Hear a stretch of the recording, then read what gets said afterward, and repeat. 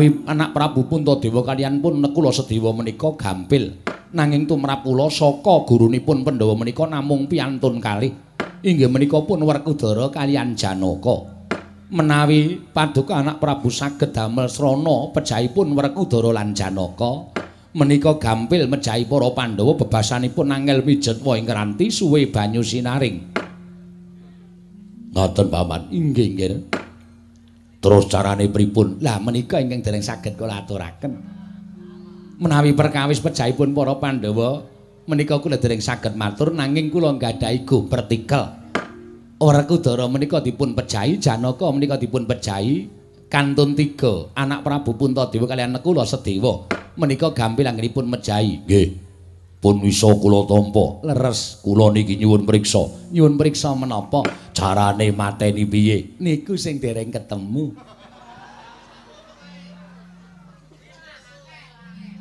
Lajeng. Depate dolope bilang-bilang lho Depate Mbuh wong endi kuwi? Ora rombongan barang dolopi. Kawenake wong-wong sing sago mateni kono kawan. Upama sing sago mateni kono kawan kuwi Janaka ya Janaka sing bakal entuk ngelmu sastra mulya memayu ayuning bawana babar kamulyaning jati. Ning yen kowe ingkang sago, ya kowe ingkang bakal entuk wayu. Jalu pamit.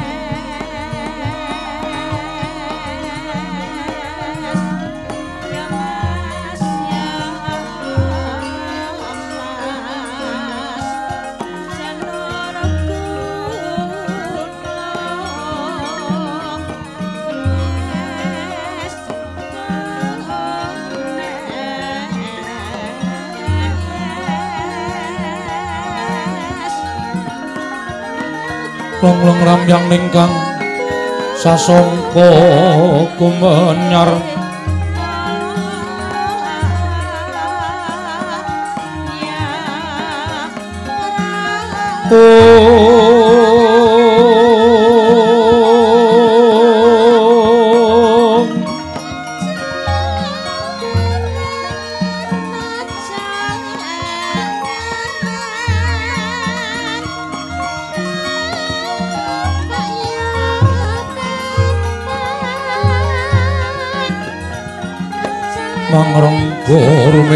makin tanpa siring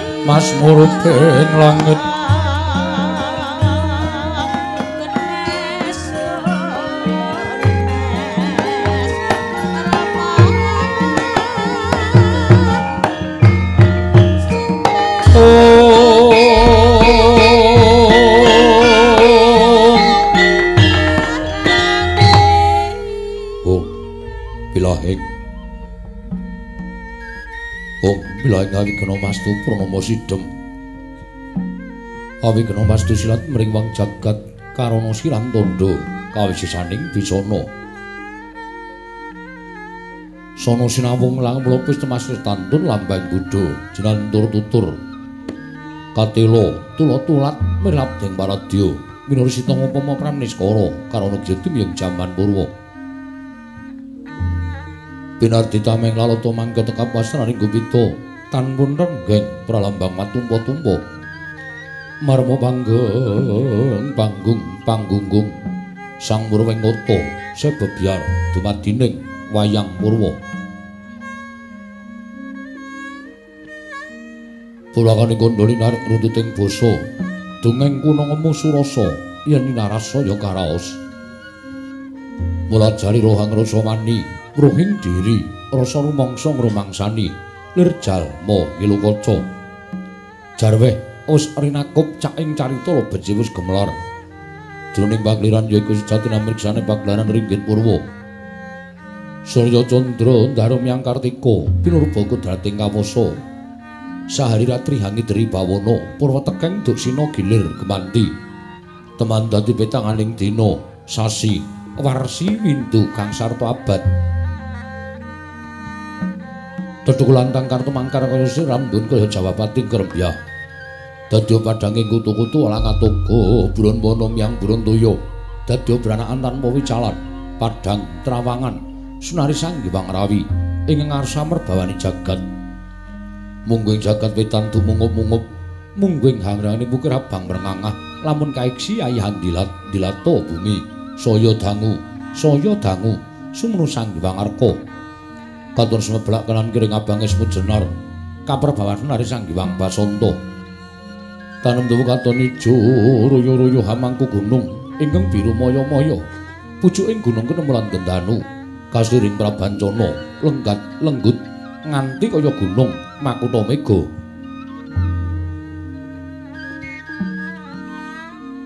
Tanpa tawis dangu selaing kawula dasi.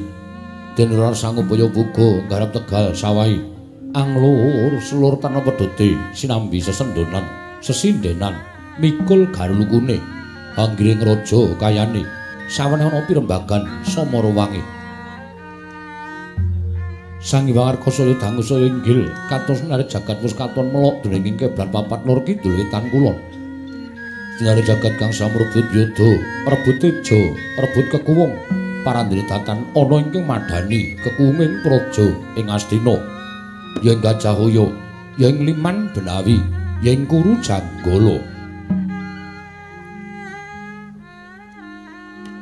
ngupaya negari satus tan antuk kalih sewu tanjang kepetiga krana negara Ngastina dumadi saking pulo-pulo bebanjaran Singasaban toya benawi tinampi ombak samudra biruang langut kang tanpa pagut. Pegating paningal kapantok uruting Cakrawala, wane-wane cakring wisik. Samening kreping jurang corong, kinepung guwa sirung. Kinarya susuing peksi lawet nyang sarang burung. Wondro gi pasisiran tersasana jembar, kebegane pasir gumelaring garis pinggir. Tanem tuwuhang rembuyung, royo-royo karang gitri, ruwe-ruwe roning lopo pratandha bumi subur. Pasiden mawur satengah tirandur tangkar tumangkar kawur yang dadi. Gunung-gunung banjengan ngangrang sang langit. Linggak linggok lampahing toya ngemijil saking sendang-sendang. Pening tirtane ilene pinara para playune tinampi waduk bendung-bendung. Kinarya hangleni sawah miang pategalaning nara kisma. Wekal pangulaing tetanen bebasan tan ana bumi sacengkang kang selo. sadaya tinanduran tantu kang ora kapitan yo Bathari Sri aglaring pasabinan Yayah Rukmi Sari kang pinangku pertiwi Pategarane nenggo pulo wija nganger buyung gegodhongane Hambyet wae nganti kaya manglung-manglung wit-witane polo kependhem polo kesimpar polo gumantung. Sadaya tanku jiwa cinawi tukulan kang maweh kesarasaning diri. Ingon-ingon raja kaya pitiwen sangsa ngrembaka lamun siang glaring pangonan. Lamun manci sarap surya samya mulih marang kandange dewi-dewi datan ana carane kandang nganggo nancing palang labet tebi saking tindak durudana tuti samya sayek saka kapya karo luhuring nusa bangsa tuwe negari ngastina wana gumimbanging gunung hanggung rineksa mrih lestari run tumurun trah tumerah sadya dadi guru-ganing lingkungan langkung-langkung lamuta tinaliti. Jalma sampun sampet ing sanggaman saking tindak sang sinang saya. Tebing wada winada. Ana namung samat sinamatan daya dinayan sawiji wujud mapan jati ning jejiban. Ing ngemriji temah wujud manunggaling cipta rasa karsa hamba bar karya. Kenging birasake negari Ngastina lek lagi ngancik marang jaman kencana. panjang kunjung pasir pawukirlo jinawi gemah ripah karto toto tora harjo dasar negara ingkang jurutan cepi gedhe obore padang jagate dhuwur kuku setur tado kuncarane turta kasusreng manca praja. Lah sinten to wau? Ing asta pesaraning adil praja ing Astina menangro capna dosa namaning Sang Nata. Dasaraning sewu nama wis mestani jeluk Sanata Prabu Duryudana. Ya Prabu Suyudana ya Prabu Jaya Pitana. Ya Jaka Pitana. Ya Gendari Suta ya Sang Dastratmaja ya Sang Tripamangsa ya Kurawendra. Ya Sanata Prabu Kurupati ya Sanata Prabu Gandharya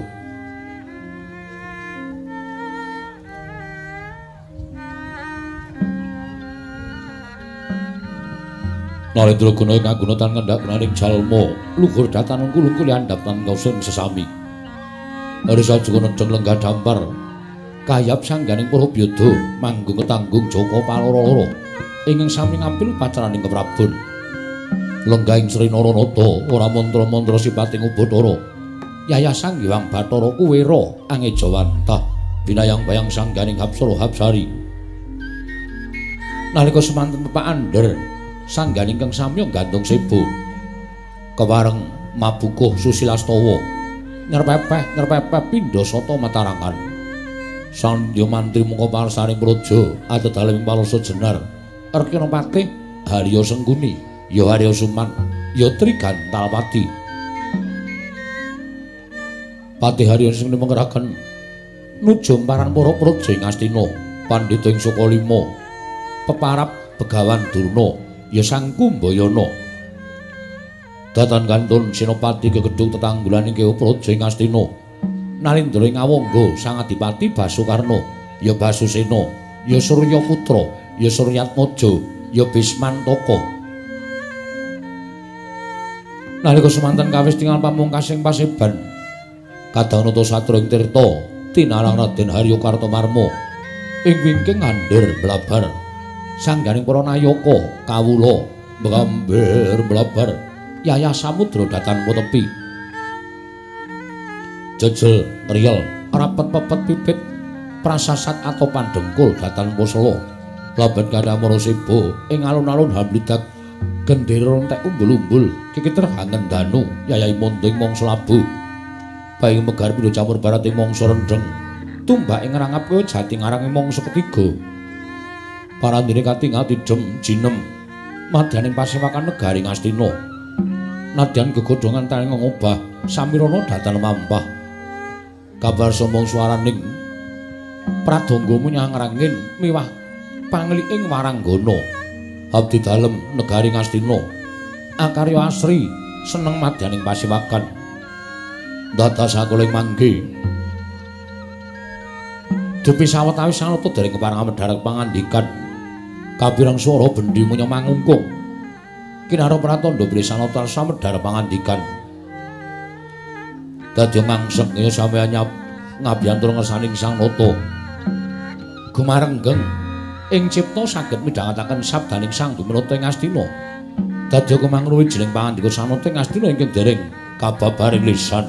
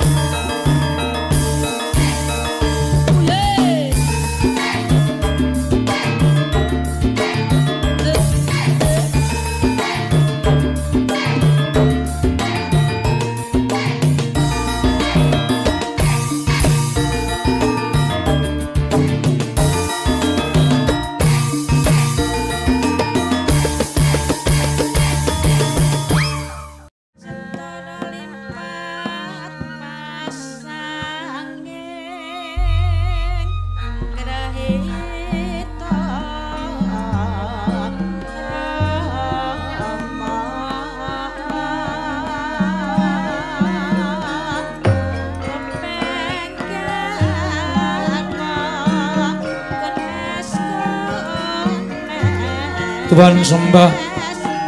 Niring ulun kapurba risang murbeng ngerat.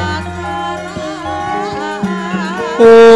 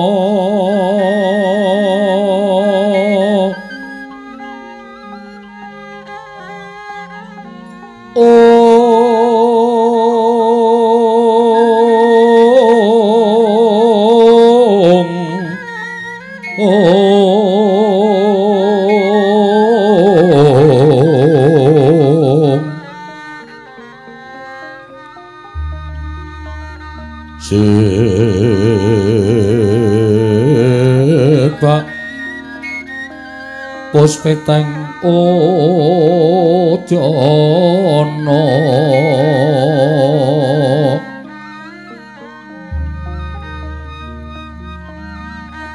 Miang Panjra Sarwarukma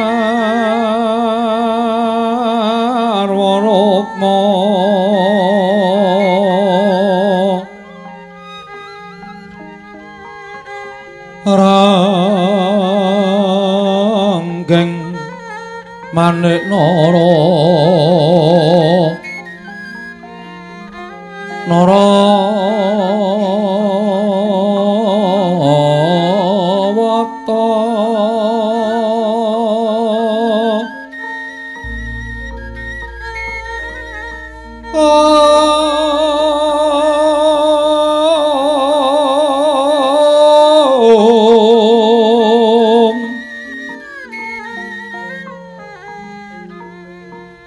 Obro prabanyo kang sumirat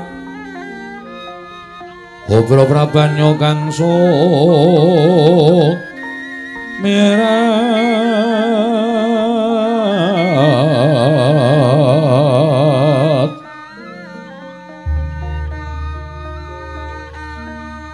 Kenyaring tejo laliwaran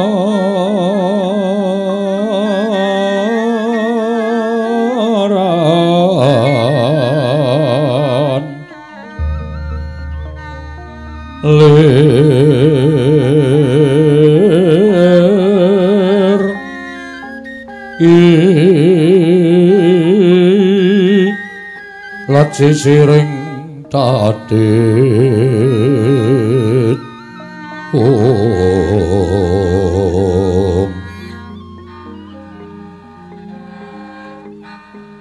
Wimbo kekandamre ingin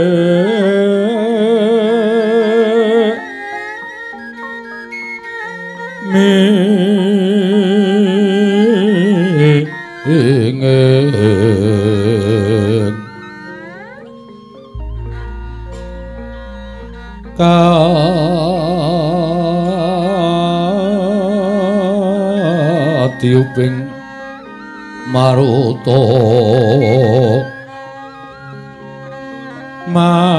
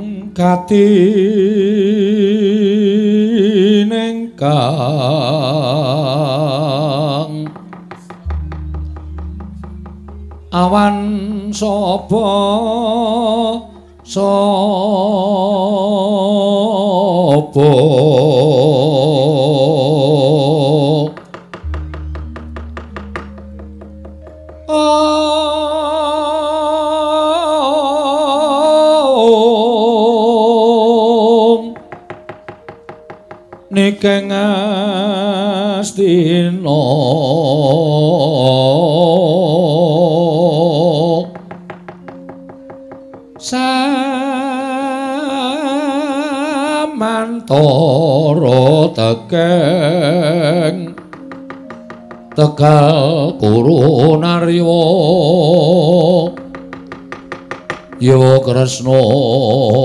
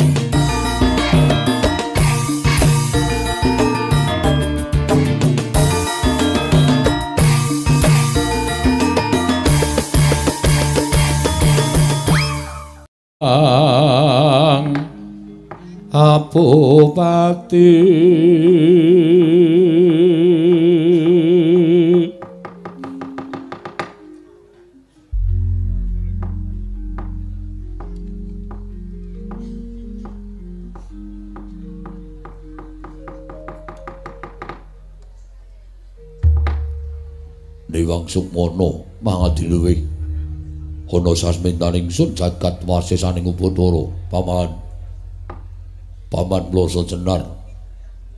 Ayo ndati kagiat pengenira si paman manira biji wenten ngajengan manira paman mate ploso jenar paman harya sengguni. Kawula nok nun anak prabu nyawa-nyawa jimat kula. Sesembahan kula wonten ing madyapada prapteng delahan Wanter sabda pangandika paduka anak Prabu Ngastina ingkang tinampi dhateng ing bapa ing kepatihan. Nuwun sewu nggih anak Prabu. Mboten kanthi kanyana-nyana. Nalika ingkang bapa mapan wonten ing Jawi sanget kuwatos sing manahipun ingkang bapa Pindaran Salomba pinanjering alun-alun. Katemping samirana kumite racaruk maras. Nanging sareng wonten ngarsa paduka tebih saking raos kemarasan. Wanter sabda pangandika paduka anak Prabu ingkang bapa ing kepatihan keparang cemadhong dawuh nggir anak Prabu Ngastina sesemban kula anak Prabu Duryudana. Paman loso senar nggih. Kadiparan hanggerji paman ingsun percaya. Minangka dadi badal wakil ingsun Maranata tata rakiti negari Ngastina.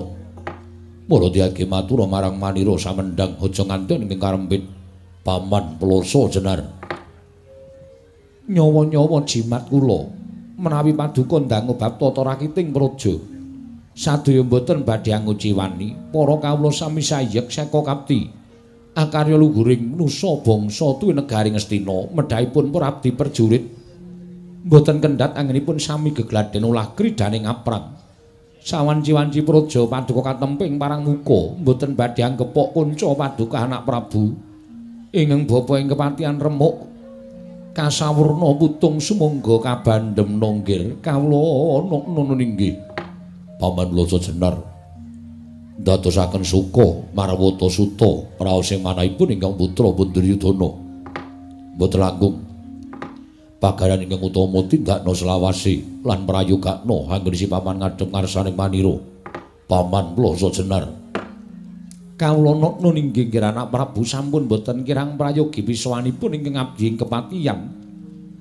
Pun mati Bropati Harya Sengkunung nggih anak Prabu. Paman mloso senar kasinggihan Bapak Menembandurna Bapak ing Sukalima Sarawu Patuko Bapak Menemban kula ngaturaken karaharjan. Rawuh wonten ing datur ya Brajangastina Bapak Menembandurna Asta Kuswala Sila Bertobo, Suwalu Gimbol, Somorante, Somorante, Ali Loco, Ali Loco. Tansah pinanganing kawidadan niring sambi kula sowanipun ing bapa ing Sukalima mangya widodha sowan kula. Tebe saking Rubeda ngger. Durga mendhak kala sirna. Anggen kula sowan ngersa paduka anak Prabu Ngastina mboten langkung kepareng ingkang bapa ngaturaken pudi astawanipun ingkang bapa kunjuk ngersa paduka anak Prabu Ngastina. Anak Prabu Duryudana. Bapa Nembanduna kula tampi. Akarya bombong raos sing manahipun ingkang putra Ngastina mboten langkung. Kasekecakno anggen jengan dika lenggah bapa mrembantuna oh inggih inggih. Sampun boten kirang prayogi wiswanipun ingkang bapa ing Sukalima titik lenggan sak mangke menika nggel. Anak Prabu Duryudana. Kakang Prabu Karna ing awangga. Mugi kasekecakno anggen jengan dika lenggah Koko Prabu Koko Prabu Basukarna. Kawula nok yayi sampun boten kirang prayogi wiswanipun ingkang raka ing awangga namung kula ngaturaken salam taklimipun ingkang raka kunjuk ngersa paduka Yai Prabu Ngastina, Yai Prabu Duryudana. Kula tampi karya bombong raos sing manah. Mboten langkung kasekecakno anggen jengandi kula lenggah. Kawula nok non nuninggih ngestu padha dawuh paduka Yai Prabu Ngastina.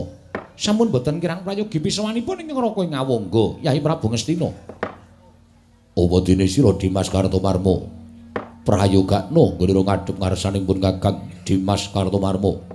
Allah lho lho lho diwaji sampun boten kirang prayogi wiswanipun ingkang rayipun Kartomarma dirilan sak sampunipun kepareng kula ngaturaken sembah sumangga ping pangabektinipun ingkang rayi kunjuk ngersa paduka Kanjeng Koko Prabu. Ndak tampa sira jadi ngaturke bekti kelawan pun Kakang. Ora liwat pangestunipun Kakang Tampanana. Kula pundhingga jimat paribe. Dayanana ing kasantosan lantatanan para kawula kang padha gandung sebo aja nganti ana ing padha saur manuk. Jeneng manira nedya babarake wigati ning pasewakan. Allah lho lho lho napa ing sampun paduka dawuhaken badhe kula candhingga jimat. Gusti sesembahan kula ing Ngastina Paman Harya Sengguni kula wonten timbalane ngadhawuh nggih anak Prabu Badurna wonten dawuh nggih Kakang Prabu Karna ing Awangga. Wonten timbalan Yayi sewu-sewu kalapatanipun ingkang ngrayi tadah wadana Koko Prabu Karna. Dene dinten samangke ingkang putra ing Ngastina pun Duryudana ngawontenaken pasewakan ingkang beneh klaradat ingkang sampun. Marmo titik lenggan sakmangke kula badhe ngrembak samukawis ingkang tumrapipun Duryudana wigati tumrap gesangkul anggen kula gesang wonten ing negari Ngastina. Lan minangka dados nalindranipun para kawula sak negari Ngastina. Namung sadèrèngipun kula hamba baraken menapa ta wigati sing pasewakan mboten lega raos sing manah kula menawi dereng wonten wiyosing pangandika para sepuh anggenipun paring samudra pangaksami dhateng ingkang rayi utawi ingkang putra ing Ngastina. Dene dinten samangke kula ngawontenaken pasewakan ingkang beneh kelahadat ingkang sampun paman ploso jenar nyawa-nyawa jimat kula nggir sesembahan kula anak Prabu Ngastina nuwun sewu. Ngemuti bilih ingkang paman menika gesang yup sandhap padha paduka anak Prabu. Mila sampun ngantos sak mangke wonten raos nggorunggi sak lebeting penggalih. Mboten wonten ingkang gumana musik salebeting manahipun ingkang abdi kepatihan kejawi amung nyadong timbalan paduka anak Prabu Ngastina babakan perkawis anggen paduka nglempakaken para sepuh. Nuwun sewu nggir. Sampun ngantos ing wanci rina nadyaning wanci ratri kula kakersakaken sowan. Ing bapa mboten badhe suwala tartemtu medya mastuti dawuh pangandika paduka anak Prabu Ngastina malah sak mangke kepareng mbabarana ingkang sejati. Menawa ingkang dados pirembagan madyaning pasewakan ingkang bapa ing kepatihan redya ngangrungaken jangga nilingaken karna. Mastuti Sabda Tama Paduka anak Prabu Ngastina nggir anak Prabu Duryudana. Semanten ugi ingkang bapa ing Sukalima nggir ing mengajab kados kula jangkah jangkao. Enggal prapteng ingkang kajangka inggih menika Datulya Negari Ngastina Samangke gandeng kang bapa sampun keparang sowan wonten ing Datulya Praja Ngastina Mboten wonten ingkang kula antu-antu kejawi namung sabda pangandika paduka anak Prabu Ngastina. Monggo, kula triambaraken ingkang bapa ing kepatihan utawi bapa ing Sukalima. Samangke kula dya ngangulaken jangga nelingaken karna. Midhangetaken sabda tama paduka anak Prabu Ngastina. Menapa to darunanipun dene paduka ngawontenaken masewakan ingkang benek lan adat ingkang sampun ger. Ingkang bapa cumadung dawuh. Yai, semanten ugi ingkang araka ing ngawongga. Kula ugi cemadung dawuh sabda pangandika paduka Yai Prabu. Kepareng babarana ingkang sejati kula radhane lingaken karna mastuti sabda tama paduka Yai Prabu Ngastina. Yai Prabu Duryudana. Long-long rambyang linggang driya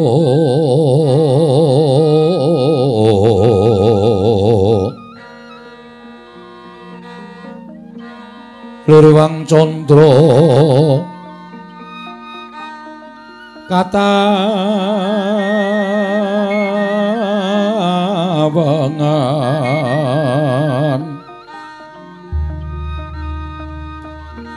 sumo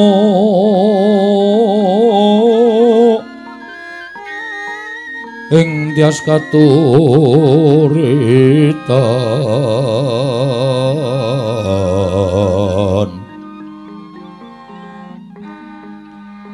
limut kabyataning ro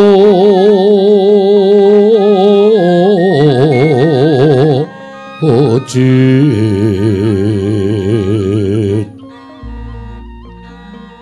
ram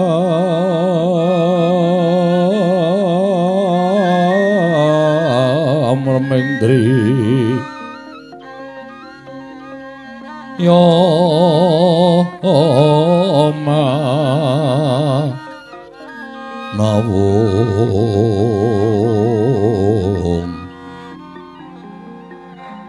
kekuwunging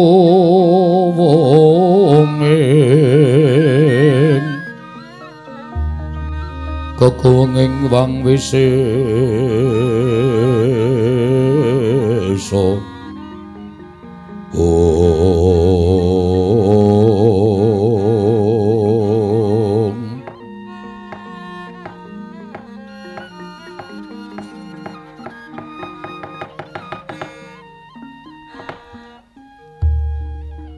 Bawadana wonten timbalan ngadhawuh nggih Paman Hari Sengguni.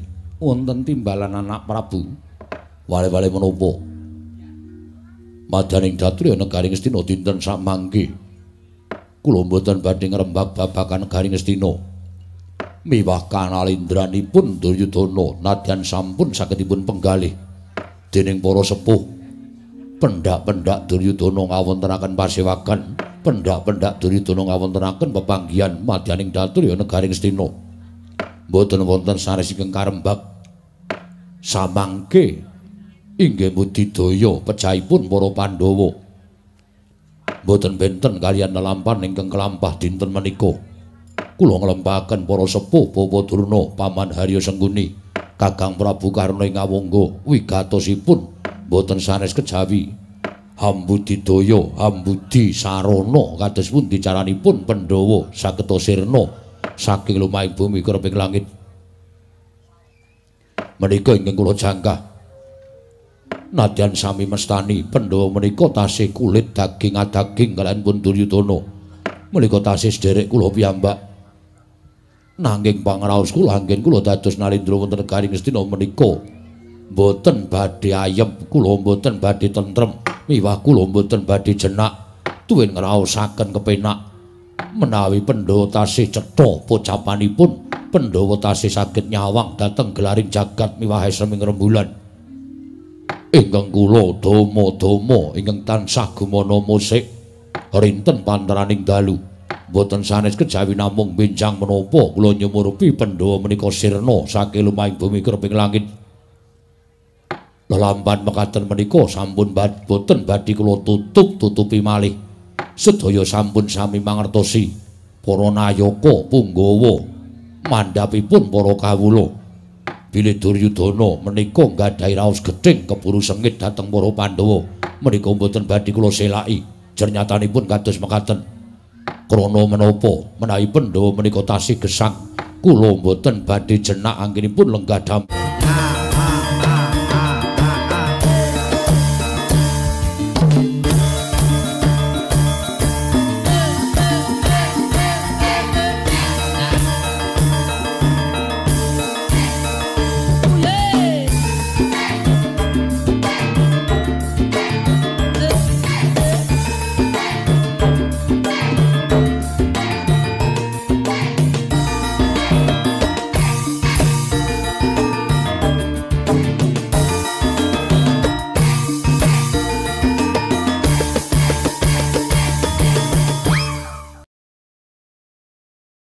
gambar ke Prabu ning Ngastina.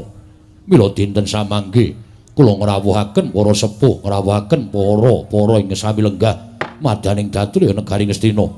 Namung badhe kula suwuni priksa benjang menapa lan kula suwuni priksa kados pundi srana nadyan ginakaken srana ingkang licik nadyan ginakaken srana ingkang singlar saking rasa kasatriyan tuwin jiwaning satriya menika boten dados sebab menawi kedah ginakaken srana nyuduk saka mburi. Menika ugi kula matuk tuwin gathuk waton setunggal kemawon. Ingkang tansah kula ajab boten sanes kejawi namung Pandhawa enggal ngatang-ngatang dados bathang boten sesuk boten somben nek iso dina niki Pandhawa tekaning pati. Sigra-sigra yen permana kanca sikrong rakinawang sesongko.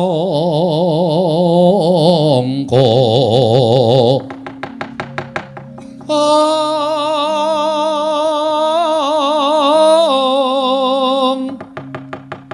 Nalindra mbek marwa sing sang katriku mulung. Katriku mulung mangrempak ing wadya. Ong Ong Kurta kura reka kiri. Kiri Ro nanggono magawi gelar. Ong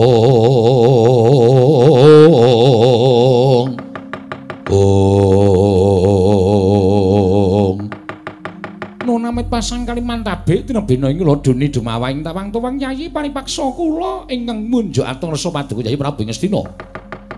Bangga Prabu Karna. Majeng anggenipun lenggah. Abenajeng kalian ingkang rayi Ngastina. Menapa panjenengan sampun pikantuk srana kados pundi cerananipun Pandhawa saged sirna margalayu mangrumiyin. Mboten babakan perkawis anggen kula nedya mejahi para Pandhawa. Kula kunjukaken sopaduka Yai Prabu menika mboten tuwin kula mboten manggihaken satunggiling srana. Anggenipun kula ngaturaken srana menapa supados Pandhawa menika saged pejah menika ugi mboten. Namung anggen kula majeng sopaduka Yai Prabu menika estripun badhe ngaturaken gelo raosing manah kula. Gelo hados pundi? Yai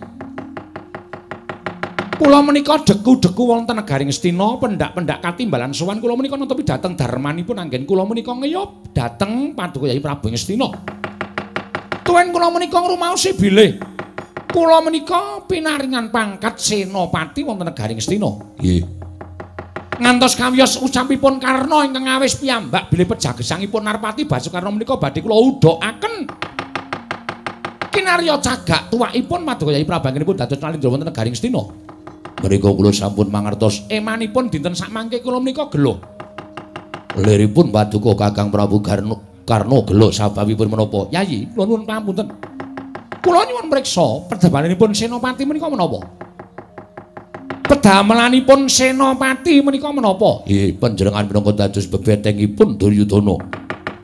Menawi wonten tetiyang, menawi wonten alindra ingkang sak mangke badhe angucik Prabunipun Duryudana panjenengan ingkang kedah ngrampungi karya. Mongko nyatanipun ingkang panjenengan galih saben dinten menika mboten sami kejawi namung para Pandhawa. Ingkang panjenengan galih menika mboten sami kejawi namung para Pandhawa, namung nuwun sewu lho. Panjenengan iki dereng nuwun sewu, dereng lamur. Tuwin panjenengan menika tasih cetha anggenipun ningali sinten kemawon ingkang lenggah madaning pasewakan. Cetha wonten ing mriki menika lenggah Narpati Basukarna anggenipun sowan wit kala wau enjing. Kula menika namung angrantu benjang menapa kula menika pikantuk dawuh saking Paduka Yayi Prabu supados kula menika mejahi para Pandhawa. Ning jebolipun muwal saka gembolan mrucut saka kudangan.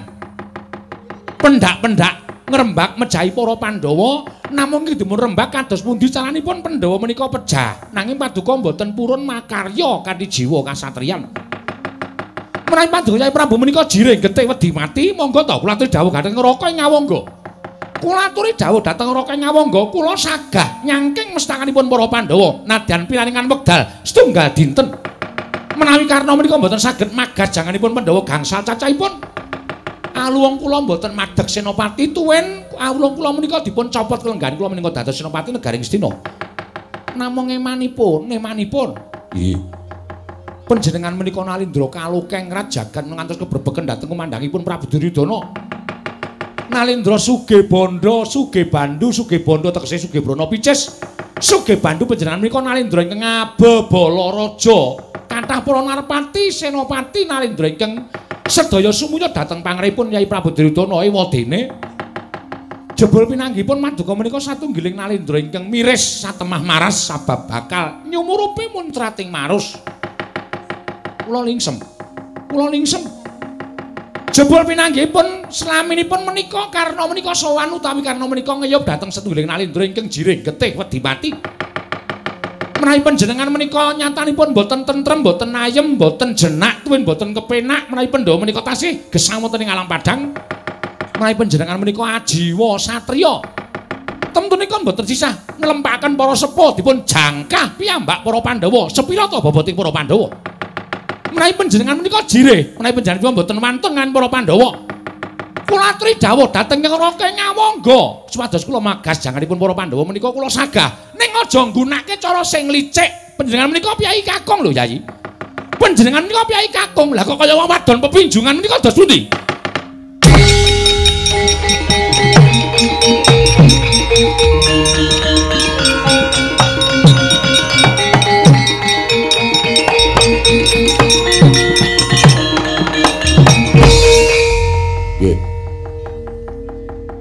Sedaya atur sampeyan wis kula tampa. Napa sing mangkandhake niku mung waton ngucap ning tanpa nganggo pitung. Liripun kados pundi? Pandhawa menika digdaya. Kula akoni nadyan Kurawa menika satus gedabiah ning yen ditanding karo Pandhawa lima cacahe ora ana sing monggo beliau. Kula niku isih genep nalar kula, kula menika iso genep panca indriya kula. Kula iso metung, kula iso gelar, kula iso gulung. Yen kula dhewe sing jangkah para Pandhawa tan wurunga Duryudana bali teng negara Sina dadi bathang. Jebul pinanggipun sampeyan ling ngendika kaya ngono niku janjane kula ngerti lereke. Sapa to Narpati Basukarna? Menika tunggal wadah kalian para Pandhawa. Sampeyan ngojok-ojok karo Duryudana supaya kula dhewe sing mangkat mateni para Pandhawa. Pamrih sampeyan kula ngerti. Pamrih sampeyan kula wis iso gagapi supaya Duryudana ndang mutar. Nek Duryudana mutar sampeyan syukuran sak negara ngawungga nggih napa mboten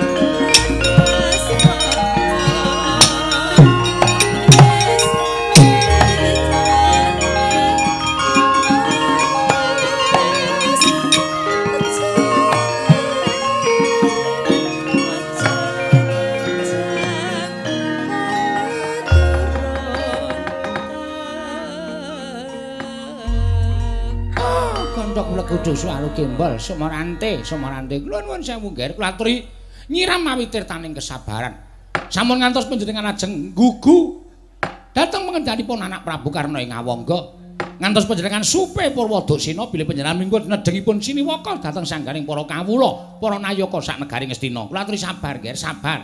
Nalendra lenggah siniwaka menika kedah kebak ing kesabaran kedah kathah pangapuranipun dhateng sinten kemawon Nggih. Nyuwun pangapunten Bapak Tuna. mboten dados menapa mboten dados menapa Sengkel ati kula. Iso ngucap ning ora iso nglakoni. Nek pancen Kakang Prabu Karna menika rumangsa dadi senopati negara Ngastina, ora sah tak kongkon jumangkah ndang nigas jangkaning Pandhawa lima cacahe diaturke teng ngarep kula. Niku tegese wong sing tetep karo kewajibane.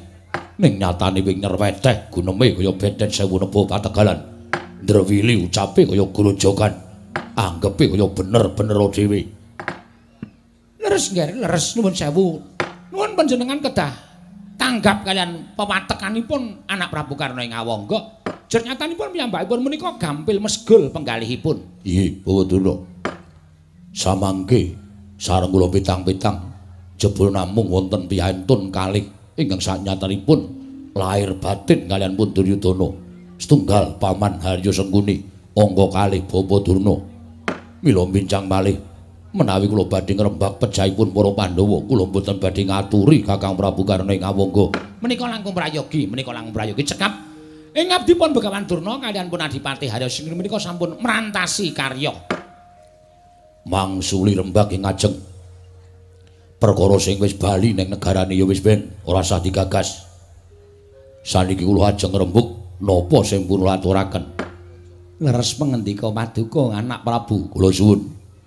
Paman Haryo Sengkurian Bapak Durna saged ngaturaken pripun caranipun supados kula enggal nyumurupi Pandhawa menika ngatang-atang dadi batang Pandhawa sirna margalayu nyawa-nyawa jimat kula nggih menawi paduka ndangu babakan perkawis menika kula nuwun sewu kula nggadahi atur perkawis leres lan boten kula sumanggaken dhateng anak Prabu Ngastina paman darbiatur menapa. Pandhawa menika kekiyatanipun namung wonten satriya kalih inggih menika pun Werkudara kalian Janaka. Menawi anak Prabu Puntadewa kalian pun Nekula Sedewa menika gampil nanging tumrap kula saka gurunipun Pandhawa menika namung piyantun kalih inggih menika pun Werkudara kalian Janaka. Menawi paduka anak Prabu saged damel srana pejahipun Werkudara lan Janaka. Menika gampil mejahi para Pandhawa bebasanipun angel mijet wa ing keranti suwe banyu sinaring. Ngoten paman inggih nggih terus carane pripun? Lah menika ingkang dereng saged kula aturaken. Menawi perkawis pejahipun para Pandhawa, menika kula dereng saged matur nanging kula nggadahi go pertikel. Werkudara menika dipun pejahi, Janaka menika dipun pejahi kantun tiga anak Prabu Puntadewa kaliyan Nekula Sedewa. Menika gampil anggenipun mejahi. nggih pun bisa kula tampa Leres kula niki nyuwun priksa nyuwun priksa menapa carane mateni piye niku sing dereng ketemu.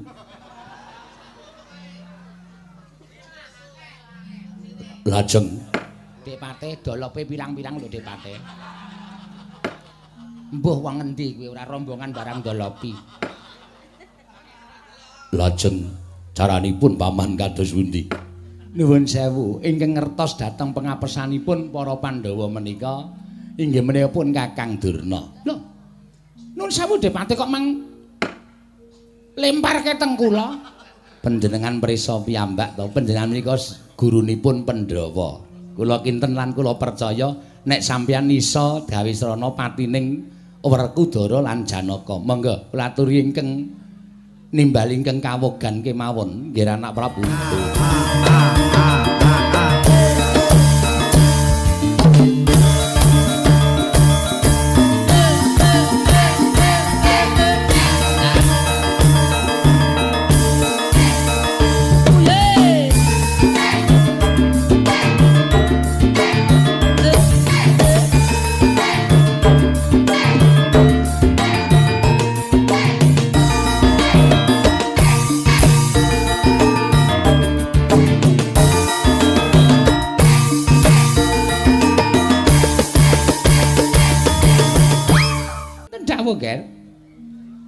Kados pundi sraranipun supados Werkudara kalian Janaka samangke saged pecah? Caranipun kados pundi? Oh, menawi babakan menika kok mboten wau-wau panjenengan dangu kalian Kang Bapa ing Sukalima. Menawi kala sonten wau panjenengan sampun paring dawuh piye carane matine pen Werkudara kalian Janaka. Kula kinten pasewakan menika mboten dangunipun kados ngaten menika. Nggih. Matur sembah nuwun. Sami-sami, sami-sami. Caranipun kados pundi? Menawi caranipun mejahi Werkudara kalian Janaka menika nuwun sewu, kula tate kok dereng kepanggih nggih, Ger. Sampeyan ki piye to? Ki ngarep mau ki kaya iso pengarep-arep kok bareng tundone kok ora ketemu. Dek Pate, pripun Kakang Durna? Nuwun sewu lho Dek Pate. Nadan panjenengan iso ngandhakake nek to kringkianing para Pandhawa ki eneng Werkudara karo Janaka. Ning nuwun sewu, nggih wonten mriku niku lek digoleki angele mateni Werkudara karo Janaka. Ternyatane satriya loro niku pancen Debya Sura Sekti kalintang jayaning perang, bebasan tinatah mendhat jenara menter, tinumbak bengkong sinuduk putung. Werkudara niku sapa sing iso ngasurake karo saning Werkudara? Mboten wonten. Nggih. Najan Kurawa satos cacahe, bebasanipun ngepong wakal binaya mangap. Werkudara mboten ajeng iso dikalahke. Kurawa satos kon maju bareng. Kula iso ngarani nek Kurawa mesti bakal tumpes kelor tanpa sisa. Merga kekuwataning Pandhawa. Aja kok Werkudara, Janaka sing klemak-klemek midak telek ora penteng. Nek basa Jawane niku midak kapuk ora penteng. Padha-padha empuke. Oh. Ming sing siji ora mampu, sing siji mampu.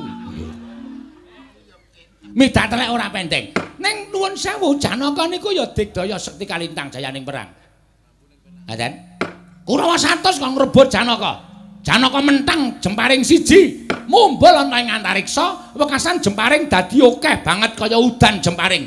Sampeyan ajeng delik teng pundi? Mati kabeh para sata Kurawa. Niku lho sing kudu digoleki srana sranane supaya Werkudara lan Janaka niku iso mati, ngoten. Niku carane pripun? Arepa digdaya kaya ngapa sing jeneng satriya niku nggadahi keringkian, nggadahi pengapesan. Manggoleki pengapesanipun Werkudara kali Janaka. Oh, nek wong loro niku ketake mboten wonten pengapesane Depate. Merga lahir batin limpat teng kawruh. Lahire ya limpat, batine ya limpat. Paningaling Janaka lan Werkudara menika mboten kok nganggo peninggal lahir tok, ning nganggo peninggal batin. Piyambakipun niku iso ngerti. Sing teka ki sapa? Sing jak jagongan ki sapa? Lahir batine kepiye karo Werkudara karo Janaka? Werkudara Janaka menika wis ngerti. Dadi upama sing dijak jagongan kuwi ora lahir batin karo Janaka. Napa sing diduweni Janaka ya ora bakal diblakke karo wong sing dijagongke karo Janaka niku wau. Nggih. Selagine kula gurune Janaka wae, kula meniku nganti bingung golek pengapesaning si Janaka. Dijak perang cara napa kemawon saged perang Candrasa isa, perang Madras isa. Janaka niku limpat. Dijak perang Jemparing, sapa sing iso ngungkuli Jemparinging Begawan Durna duk nalika kula isih enom. Jenenge jeneng kula Kumbayana. Nggih, nggih. Mang catet. Nggih, nggih. Dek kula enom biyen jenenge Bambang Kumbayana. Ampun diteran Bambang Gentolek. Nggih. Bambang Kumbayana. Nggih, nggih. Niku sapa sing iso ngelake Begawan Durna nggone manah? Ya ming Janaka. Sampeyan kelingan to? Zaman pendadaran siswa Sukalima. Janaka kula ken manah, manuk mongko manuke manuk cilik. Enten pucuking wit cemara sing dhuwure ora karo-karuan. Janaka yen bisa panan mripate manuk kuwi. Janaka manah, manuk niku mripate cepling. Mongko manuke ora obah. Apa orang gleleng? Niku Janaka, selagine kula gurune mawon kena ndase manuk nganti kiwir-kiwir. Nggih. Nggih, nggih. Niku Janaka. Sapa sing iso ngguli olah jemparing Janaka? Mboten wonten, mboten wonten. Kula ngeculke jemparing, Janaka ngeculke jemparing. Kenging pas tengahing jemparing, jemparing kula sigar dadi loro. Niku nek mboten Janaka mboten iso. Werkudara niku olah gada. Wah, nadan gadane Werkudara niku gedene ora jamak. Inggih menika gata Lukitasari, gata Landita Muka. Nek wis dicekel Werkudara arepa gedhe, wah.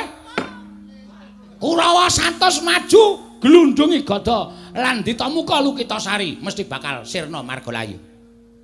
Nuwun sewu, niku rak bab sing lahir. Nggih, Nek sing batin mesti kemawon sampeyan iso ngerteni. Dek Mate. Pripun? Sampeyan lali to? Lali napa? Werkudara niku entuk sastra cetha paripurning wangsit, sastra jendra pangruwating diyu. ya tirta pawitra maning suci ngelmu kasampurnan ngelmu sangkan paraning dumadi jagat menika sapa sing duweni siji tok ming si Werkudara tok Werkudara niku tau ketemu karo dewane tau ketemu karo gustine nggih menika Sang Ruci Bathara ya Sang Dewa Ruci sing citrane padha karo si Werkudara Mula sinebut jagat gedhe lan jagat cilik menika mboten wonten bentenipun. Teng mriku mboten wonten satriya ingkang saged ngungkuli dhateng pun Werkudara. Sastra cetha paripurning wangsit niku gawate keliwat-liwat. Sastra jendra pangruwating diyu niku gawate keliwat-liwat. Kacarios. Duk nalika semanten wonten satunggiling brahmana ingkang namipun Begawan Wisrawa mejangaken ngelmu sastra jendra hayuningrat dhateng pun Dewi Sukesi. Nggih. Nalika semanten wonten satriya ingkang namung midhangetaken mongko ora entuk lilahe Begawan Wisrawa. Satriya wau dadi buta raine. Niku merga walate sastra jendra Ayuningrat Pangruwating Diyu. Ngoten nggih Kakang. Nggih. Mula Werkudara niku batine ya sentosa. Janaka Janaka batine ya luwih ampuh. Janaka tau tate dadi Begawan Ciptaning, ya Ciptamening ing Guwa Witaraga, peparab Begawan Mintaraga. Lho niki ampun kleru. nggih.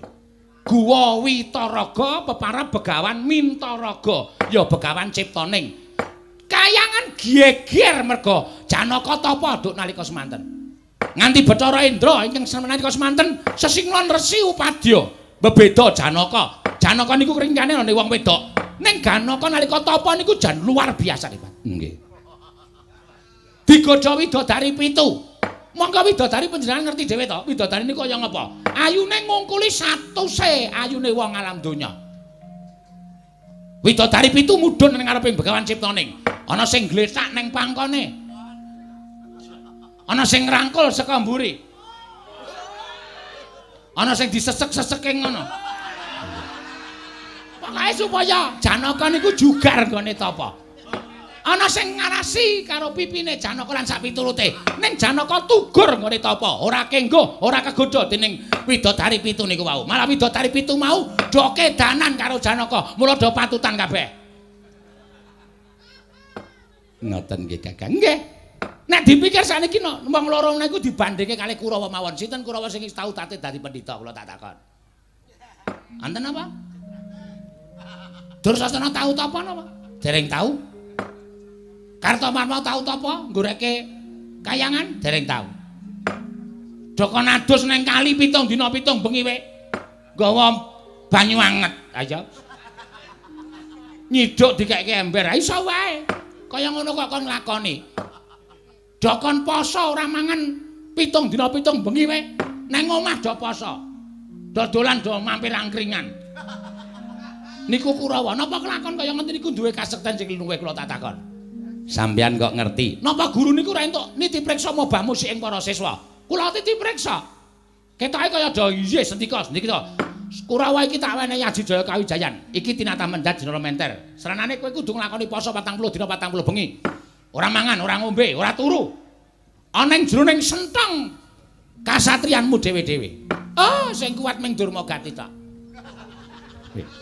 Durmagati kuat. Kuat ning gawa bojone ning jero patang puluh dina patang puluh bengi. Nggih. Ngoten nggih Kakang. Nggih mula nuwun sewu nggih menawi dipun jangka, menawi dipun jangka pejaipun Werkudara kaliyan pun Janaka menika mboten badhe saged kelampahan. Namung nuwun sewu leres ngendikipun Adipati Haryo Sengudi menawi dipun taliti kanthi ingkang permati, dipun titip reksa ingkang kanthi perkasa. Keringkian menika sedaya wonten. Inggih. Keringkian menika sedaya wonten. Aja dong yuto ndak ketara. keringkian menika sedaya wonten. Inggih. Dipun titili. Napa kae? Dipun titili kekuataning pendhawa menika sekedhik-sekedhik. Serananipun digawe grantes pikire. Digawe grantes pikire. Nggih, wong niku nek grantes pikire arep wong sentosa kaya ngapa? Keringkiane mesti bakal ketok. Oh, ngoten. Nggih, keringkiane mesti bakal ketok. Mula Werkudara Janaka menika arep digdaya kliwat ukur tanpa ana duwe kringkian ning nek digawe atine kuwi grantes kringkiane mesti bakal ketok. Terus carane gawe grantes Werkudara kali Janaka pripun Kakang? Dicolong katresnane. Katresnane Janaka kali Werkudara niku napa kudu dipejahi sik bojone? Mboten, mboten. Mboten. Janaka niku mboten pati tresna karo Sembadra. Oh. Karistri Kandi nggih mboten tresna. Ketarane. Ketarane Janaka niku temudi-mudi mesti rabi. Oh. Dadi mboten bage Janaka niku tresna kalih para Sembadra kalih para Sri Kandi. Napa Werkudara ya kudu dipateni garwane Werkudara telu cacahe. Inggih menika naga gini Arimbi Urangayu. Ampun, ampun. Menika Werkudara ya ora pake tresna karo bojo-bojone nyatane rata udah diparani. Nggih. Ngoten nggih. Nggih. Lah terus katresnane Pandhawa niku kali sinten? Katresnane Pandhawa niku mung kali karo kakari kok. Alon-alon, alon-alon. Ajeng watuk e Depate. Nggih. Nggih watu sik. Nggih, nggih. Katresnane Pandhawa niku kali sinten? Katresnane Pandhawa niku kalih Panakawan. Oh, Panakawan. Panakawan inggih menika Semar, Gareng, Petruk lan Semar. Bagong. Bagong. Nggih. Nek ngonten kedadipun singkirke Panakawan. Nek Janaka kolangan Panakawan menika piyambakipun mesti grantes. Panjenengan tau tate kemutan. Duk jaman lakon Semar Loro. Nggih. Wonten ing crita Wahyu Kamulyan. Nggih. Semar nalika semanten nandhang lara, Janaka le nangisi pitung dina pitung bengi, ora gelem bali teng Madukara. Ngrungkepi kaliyan Semar Badranaya, merga Semar nalika semanten lara. Ateges katresnane Janaka niku mung karo Semar Badranaya. Oh, ngoten. Ning mateni Semar ya angel. Angel meneh. Nggih. Dan rumangsa kula kok mboten ketemu-ketemu to Pati. Ning ngaten mawon. Semar angel dipanteni yang kudu dititili. Well. Dititili melih. Titili ping pindho. Nggih. Carane Semar ya digawe grantes pikire. Semar digawe grantes carane Carane sing dipateni aja Semar. Ning anak-anake Semar. Gareng Petruk Bagong pateni. Nek Gareng Petruk Bagong pateni, Semar ora duwe kanca teng jagat. Grantes pikire. Semar grantes, Semar lara. Semar lara, Janaka grantes. Semar mati, Janaka lara. nggih. Janaka lara Werkudara grantes. Janaka mati Werkudara lara. Lho, ra urut ta Dipate? Oh, nggih. Iso cek cek cek cek nganten. Pak. Nggih. Niku srana sing kudu dilakoni, ngaten. Mengko nek Werkudara wis kelakon lara Puntadewa grantes, Werkudara mati Puntadewa lara. Puntadewa lara, nek Dewa grantes. Nek Dewa lara, terus nek Dewa mati, Sing grantes pun wonten. Pun entek lima niku. Ning rak wis kelakon mateni para Pandhawa. Lho, nek tumrap kula ngaten menika, Ger. Setuju menapa boten, Ger? Panjenengan midhaket atripun Begawan Dara menika matok gathok menapa boten? Menawi matok, mangke kula badhe sra pados srana, Ger. Pandhita kang kinarya wangsit Pindha kompang ngajaping tawang susuh angin ngendi nggone Ong ong Susuh angin ngendi nggone Ong pangraos kula kados mathuk tuwin gathuk Ah, syukur, syukur nek ngaten. Tegesipun menika sampun dipun bundeli kemawon rembak menika. Kedah mejahi Panakawan langkung rumiyin menangke menawi Panakawan pejah, tetiganipun menapa salah setunggal. Tartemtu Semar mangke lajeng grantes pikiripun menawi Semar grantes tumuli Semar menika pecah. Menawi Semar pecah, Janaka badhe grantes. Menawi Janaka mangke grantes tartemtu badhe nandang gerah, menawi sampun nandang gerah tartemtu badhe pecah. Janaka pecah Werkudara pecah. Puntadewa kaliyan Krasdewa kantun angel mijet wae ngranti. Inggih, Bapak Tuna. Pandhawa pecah, Panakawan pecah, panjenengan dados Nalindra, Hanjayang bawana mboten wonten ing badhe anggucik keprabon paduka anak Prabu Ngastina. Srananipun kados pundi supados sak mangke. Sewek saged mejahi para Panakawan Ngaten Ken, ngibataripun ngibaratipun ngibataripun ngibarati ngibaratipun nabok nyilih tangan utawi kecekel iwake ning aja nganti budhek banyune. Ora piye? inggih. Srananipun kados pundi? Nabok nyilih tangan damel sakit piyai sanes ning nganggo srana wong liya. Manggriyen terus sarananipun Kula nyuwun wekdal sekedap. badhe nindakaken menapa? Kula badhe matek aji pameling. Kuwi lah dalah. Ya, wis coba aku tak weruh nggonmu matek kaji pameling kaya ngapa. Kula semanggaken Bapak Dono anggenipun badhe matek aji pameling ngrawuhaken dhateng sinten badhe ndhawuhi utawa badhe nimbali sawanipun murid kula ingkang kula tresnani Gimana Werkudara. Menawi Werkudara sampun sowan. Menawi Werkudara sampun sowan mangke badhe kula padosaken srana supados piyambakipun menika mangke mentala mejahi Panakawan ngaten nggih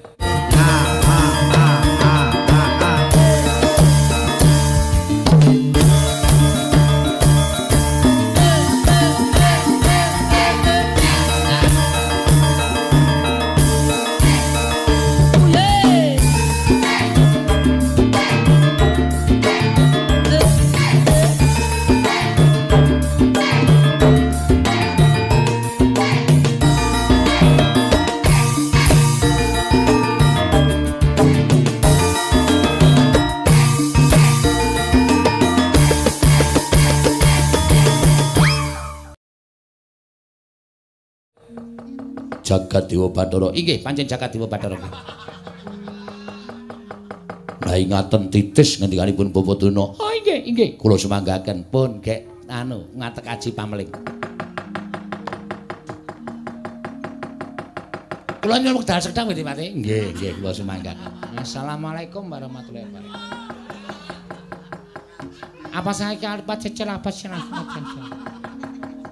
Kocap kacarita nalika semanten Begawan Durna. Siapa silahkan. Sigra matek aji pameling. eling-eling pandhita limpat ing kawruh pandhita ingkang wis buntas kawruhe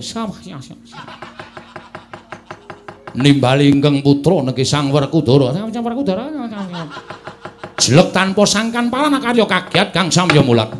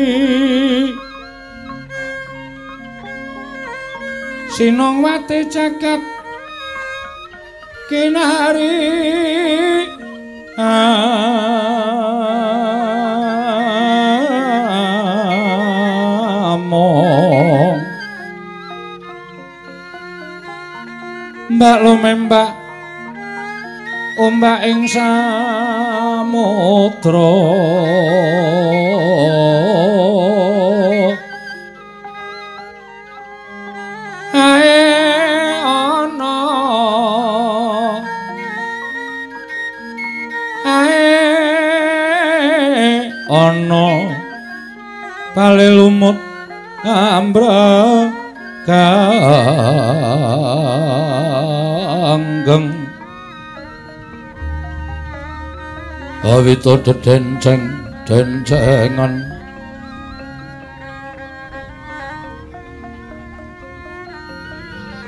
Om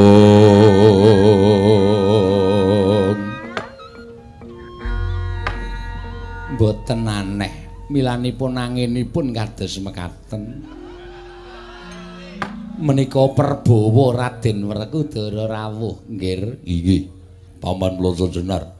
Bawa Durna Werkudara sampun prapta wonten negaring Astina. Ah, gandhong blekuduk swalu gembel sumarante sumarante alhamdulillah.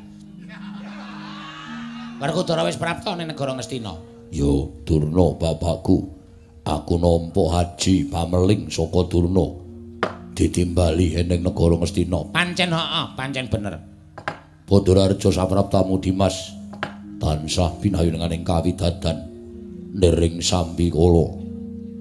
Duryudana hakangku aku ngaturke sembah. Yo, Yayi tak tampa. Pangestunipun Kakang Tampanana ndak gegem dadiake jimat. Raden katuran karaharjan rawuhipun. Sengguni bapakku slamet aku ngaturke basaku katura. Kula tampi nggir dawah sami-sami dipun sekecaken lenggahipun. Yo sengguni bapakku. Werkudara kowe slamet nggih, Cah Bagus. Durna bapakku. Slamet tekaku aku ngaturke bektiku katura. Oh, tak tampa, tak tampa. Werkudara, pengestune Bapak Tampanana ya nggir, ya nang, ya li. Yo. Durna bapakku tak tampa pangestu. Aku ngaturke bekti kowe paring pangestu. Heeh, heeh. Prayogakno nggonmu ngadhep. Iya, wis ora kurang prayoga. Sira siadi tinimbalan dening Bapa Penemban Durna ana ing negara Ngastina. Mula kang sangka kuwi aku njaluki dipalilah bakal matur ngersaning Durna bapakku. Sira siadi ndak paringi purba wasesa. Durna bapakku. Werkudara piye? Werkudara, Piye? angin mungkin ndekno sikik ta Werkudara. Iki ganjeling ngisor bareng wis mak jegluk. Pun mboten sah kuwatir Kakang Duna. Mboten kuwatir pripun nek pilek. Ha nggih. Sik gunungane do ambruk Werkudara. Tak benake sikik. Oh, ya ora ngerti babar pisan lah kok dadi kahanane kaya ngene iki kok. Karto marmo ki rasa ngurip kipas angin. Inggih. Ngestaken dawuh. Ademe kaya ngene kok isih nggawa kipas angin barang ora. Durna bapakku. Piye Werkudara? Kowe nimbali garwaku. Heeh, heeh pancen bapakmu nimbali karo kowe. Wigatine apa dene kowe nimbali karo Werkudara? Dinyaren dene kowe paring pangandikan lumantar haji pameling. Yen to aku mbok dawuhi sowan ning negara Ngastina. Oh, kandhak blekutu suwalu gembol sumarante, sumarante. Ngene iki mau Werkudara. Kowe tak jarwani ya, Nger. Iki mau jroning Pasewakan Agung. Sejatine dudu anak Prabu Duryudana ingkang anakake Pasewakan Agung nanging bapakmu Sokalima. Durna bapakku. Heeh, heeh. Merga aku entuk wangsit Werkudara. Supaya nggonmu entuk sastra cetha paripurna ing wangsit. Sastra Jendra Pangruwating Diyu mau bisa komplit sarta iso tok gunake luwih saka dayaning sastra Jendra Hayuningrat ya kuwi ngelmu kasampurnan lan ngelmu sangkan paraning dumadi. Yo, Iki aku pinaringan ngelmu dening para dewa lan didhawuhi supaya maringake kowe. Kinarya jangkep sarta panutuping ngelmu sastra Jendra Pangruwating Diyu ingkang wis maringake marang kowe nggonmu entuk saka Sang Ruci Bathara. jenenge apa? Ya kuwi ngengaran ngelmu sastra mulya memayu hayuning bawana. Ngelmu sastra mulya memayu hayuning bawana kuwi. Kinarya jangkeping sastra cetha paripurning wangsit ya sastra jendra pangurwating diyu. Yen kowe iso gayuh ngelmu wujudipun ngelmu sastra mulya memayu hayuning bawana mau. Ateges nggonmu entuk ngelmu kasampurnan lan ngelmu sangkan paraning dumadi mau. Saya komplit saya komplit. Dawing jawata ngibarate nadyan kowe kuwi satriya nanging uripmu tanpa beda kaya dene dewa manabda bakal dadi apa sing tok karepake bisa kasembadan lan kowe wis diwenangake aglar sewijining brahmana lho apa ora elok Selagining bapakmu Begawan Durna wae kepengin ngukup mudhuning ngelmu sastra mulya memayu ayuning bawana mbabar kamulyaning jati. Yo. Ning jebul ana syarate, Werkudara, ana syarate. Syarate apa? Mula gage kowe paringa dawuh. Durna bapakku kelingan nadyan aku kudu ndolek ngelmu. Ya kuwi sangkan paraning dumadi. tak rewangi jegur segara wae nglakoni. Apa meneh syarat sing entreng-entreng aku mesti ora bakal wegah, mesti uga bakal saguh nglakoni. Kowe saguh Werkudara? Yo, aku saguh. Nek kowe saguh, nuwun sewu nggih, panen kula badhe majeng sawetawis. Supados cetha panemipun anak kula pun Werkudara. Lho semanggaken bawa turno.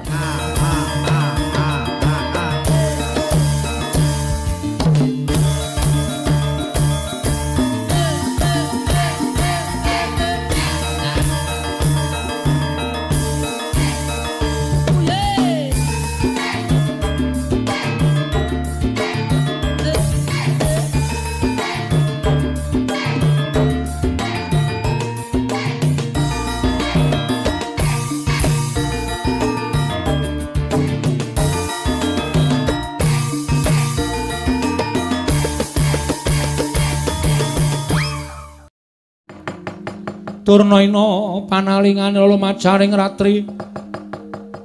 Linenggak jangganira kapisanan.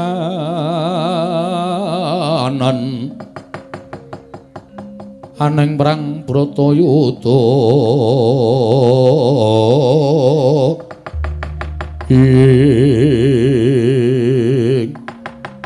oh.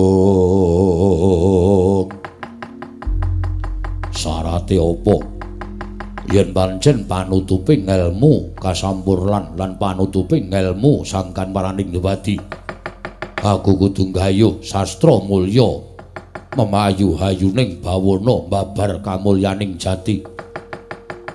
Sarate apa durna bapakku gage paringa dawuh? Ora genep rasane yen urung iso gayuh sastra mulya memayu hayuning bawana. Ah yen kowe krasa kaya mengkono tegese kowe wis darbe niat bakal nggayuh. Ya kuwi sastra mulya pemayu ayuning bawana babar kamulyaning jati. Yo yen pancen kowe niat tenan yen pancen kowe wis nekat tenan bakal nggayuh. Apa kira-kira kowe sago ngaturake salah-salanane aku sagu. Aja maneh mbok kon mlaku sing adoh munggah gunung tak sagui jegur segara tak sagui. Upama syarate dudu kuwi kaya sago yo sagu Upama syaratte kudu nglilakake katresnanmu kowe sago. Tumrap Werkudara, katresnan kuwi kadang kala pacoban ingkang abot dhewe. Nanging sapa ingkang ikhlas karo katresnan, kanugrahan bakal cinandak kanugrahan bakal iso digayuh. Contone duk nalika anakku Gatot arep ditadekke jago eneng kayangan. Arimbi nalika semono gondeli mergo tresnane karo anak. Barep kakangku paring dawuh. Yen to tresna ingkang dadi jalaran Gatut Kaca ora entuk dadi jago ning kayangan mau bakal nutup kanugrahan sing ditampa dening Gatut mula nalika harimbi negake marang katresnan ikhlas anake didadekke jago ning dewa ning kayangan. Gatut Kaca saiki dadi bocah pepethinganing para satriya dadi bocah sing pancen iso mikul dhuwur mendem jero karo wong tuwa. Mula tumrap Werkudara bab sing abot dhewe ning jagat kuwi mung perkara katresnan. Nanging yen to iso nglilakake katresnan, wah, pacoban sing abot dhewe kuwi neng tresna yen wong ora kebondo marang katresnan. Kanugrahane mesti bakal tumiba marang wong sing ikhlasake marang katresnan mau. Bagus, bagus. Wah, pancen muridku tenan kowe Werkudara. Saya gedhe, saya pinter kowe, saya tuwa, saya ngerti marang ngelmu-ngelmu ning urip ana ing alam padang ya mergo saka bapakmu iki. Iya. Mula kang saka kuwi yen pancen kowe ikhlas marang katresnan ora perkara kowe kudu megatake katresnanmu karo bojo apa dene anakmu ora. Ning kowe kudu megatake katresnan ya kuwi kelawan abdimu. Abdiku sapa? Abdimu Panakawan. Merga ana ing kene sabdaning dewa kowe bakal entuk sastra mulya penga apa mau jenenge Depate? Sastra mulya memayu hayu. Memayu hayu ning bawana babar kamulyaning jati. Kowe kudu ngiklasake salah sawijining panakawanmu. Yen ora gareng ya Petruk, ora Petruk ya Bagong Werkudara.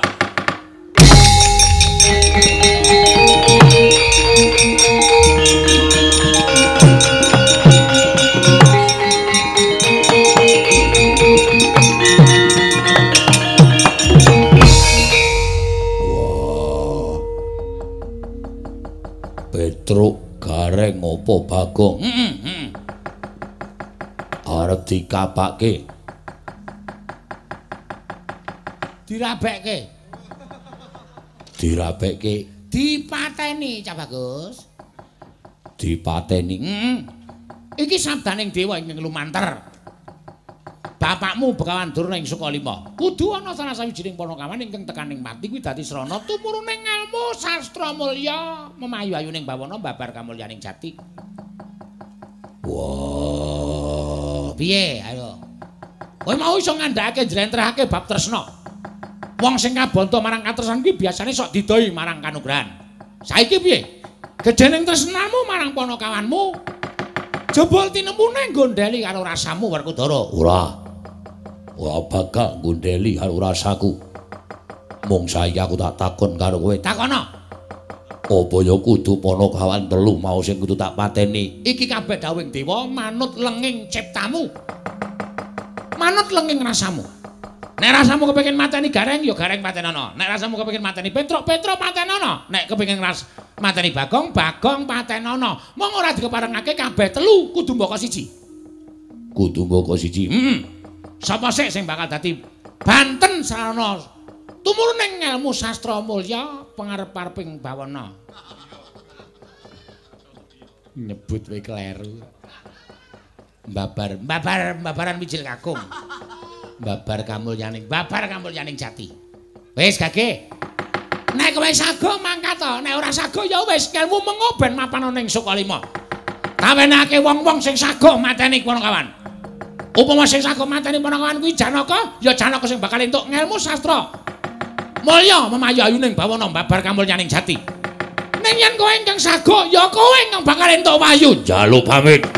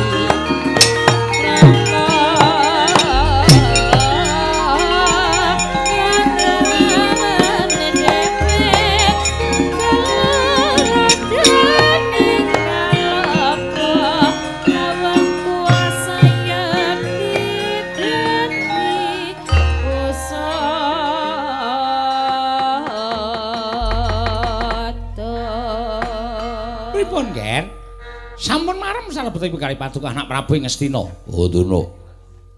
Mboten kanthi kanyono-nyono menika inggih sebat nabuk nyilih tangan kecekel iwake ning ora butek banyune. Mekaten menika. Teges upami salah sawijining penponokawan mangke pecah. Duka gareng, duka Petruk, duka Bagong. Tartamtu panjenengan boten badhe dipun tuduh dening para Pandhawa ingkang dipun dakwa inggih pun Werkudara. Nggih, matur sembah nuwun. Jan pinter tenan. Ora nyono babar pisan. Iso gawe srana kaya ngono. Ning nuwun sewu kula tak takon Kakang Durna. Pripun Dipate?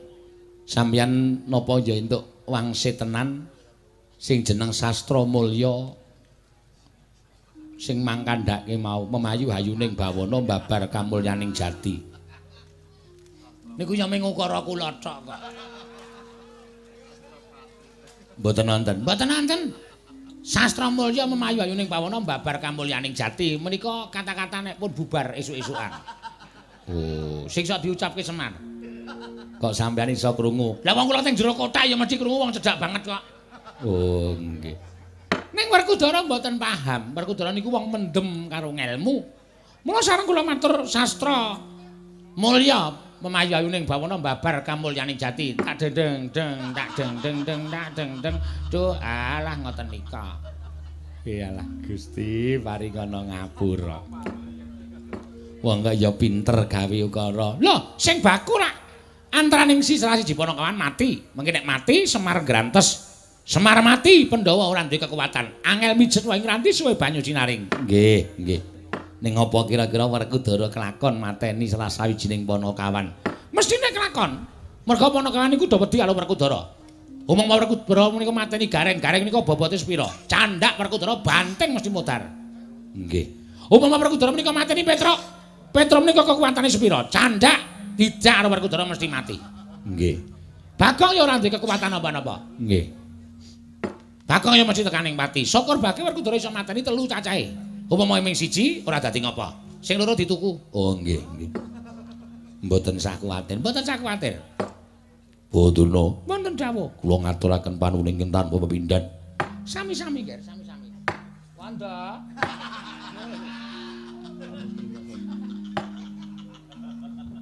Wanda sapa? Kula menika kok isih kelingan japa mantra Aji Pameling. Oh. Dadi kula mboten iso ilang saka ati kula Depati. Nggih, nggih. Matur sembah nuwun tanpa pepindhan. Sami-sami, Ger, sami-sami. Bawa Duna. Wonten dawuh. Menika wonten sekedhik. Kangge popo penemban Duna. Aduh, Ger, mbok sampun kados mekaten. Kula menika lahir batin anggenipun, kula menika meres dateng pemanggih kula supados dados sarana pejahipun para Pandhawa menika mboten kok badai niat kepulane kepengin pikantuk Prabaya dedana saking Paduka anak Prabu menika mboten mboten mboten babar pelisan mboten Den. Estu mboten. Mboten menika ikhlas. Nger, sampun kados mekaten, Nger. Estu kula menika mboten ngarep-arep kados mekaten menika. Kula menika mboten ngarep-arep apa kemawon. Iki, iki. Iki, iki. Nah menika ikhlas nggih matur sembah nuwun tanpa pepindhan mboten apa-apa. Oh, nek ngono pendhita iki iso tak arani pendhita merak kecancang. Lho kok merak pripun Depate? Merak kecancang niku nek dipakan dipanehi pakan lagi gelem ngegarke wulune. Nek ora dipakani ora ngegarke wulune. Mboten apa-apa, mboten apa-apa. Pun kula niku anggere dipen apa-apa kula garke. Kula garke kabeh. Nggih, Kakang Trata. Nggih. Mraingaten kados sampun paripurna. Lelamban menika namung ngantun ngajeng-ajeng pecahipun para Pandhawa. Leres nggih, leres. Kartomarmo wonten timbalan ing Adau. Budhanu kang padha sibo jeneng Srasu Kundur Kedatun. Kula non para wadal pasilan. Yun tambahi pangestu sing ati-ati aja kaya bocah cilik Dimas Kartomarmo. Kaya Israwana dawuh maneh. Purna gatining paranggilan. Sanoto Srasu Kundur Kedatun jog saking damparan ketuna kinapit gambaran gading.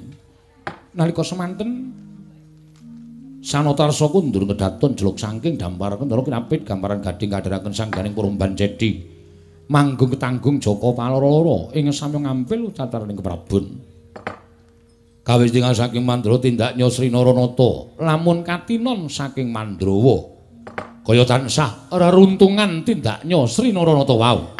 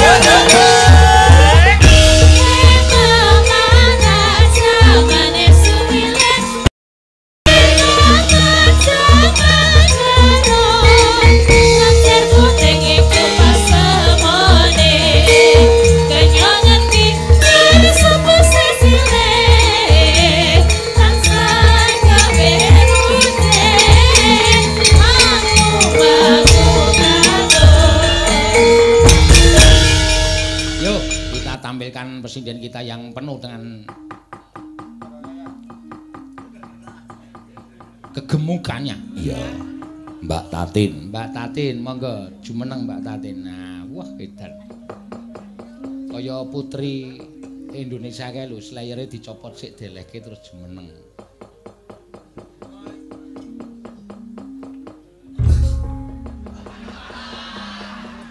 Ye, medun wing ngoreke jagat kok. Nah, iya.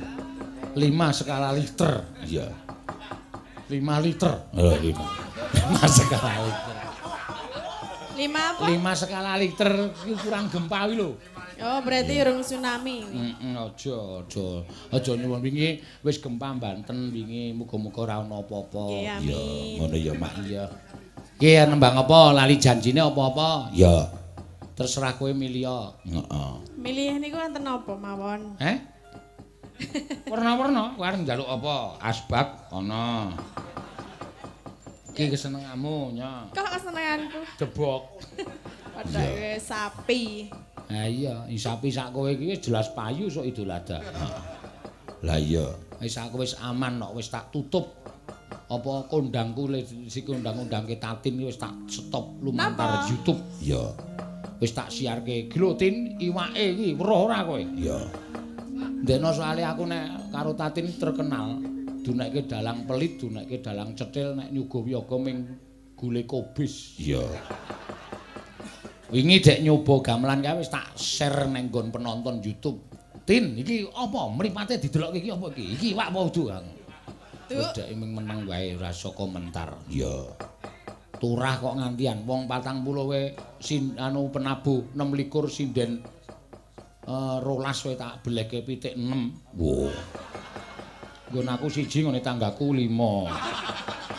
Pitik apa ta kula ora ngerti pitik lho wingi. Sing diglepungi kae rasa gawe masalah meneh we. Glepung apa wingi glepung tok kok. Wah ya jan sing ngono sing mati rasa cangkemmu. Lah kok lah Oh wingi cangkat tangket kancane wis do mangan nganti dok. Mm, mm, ngono.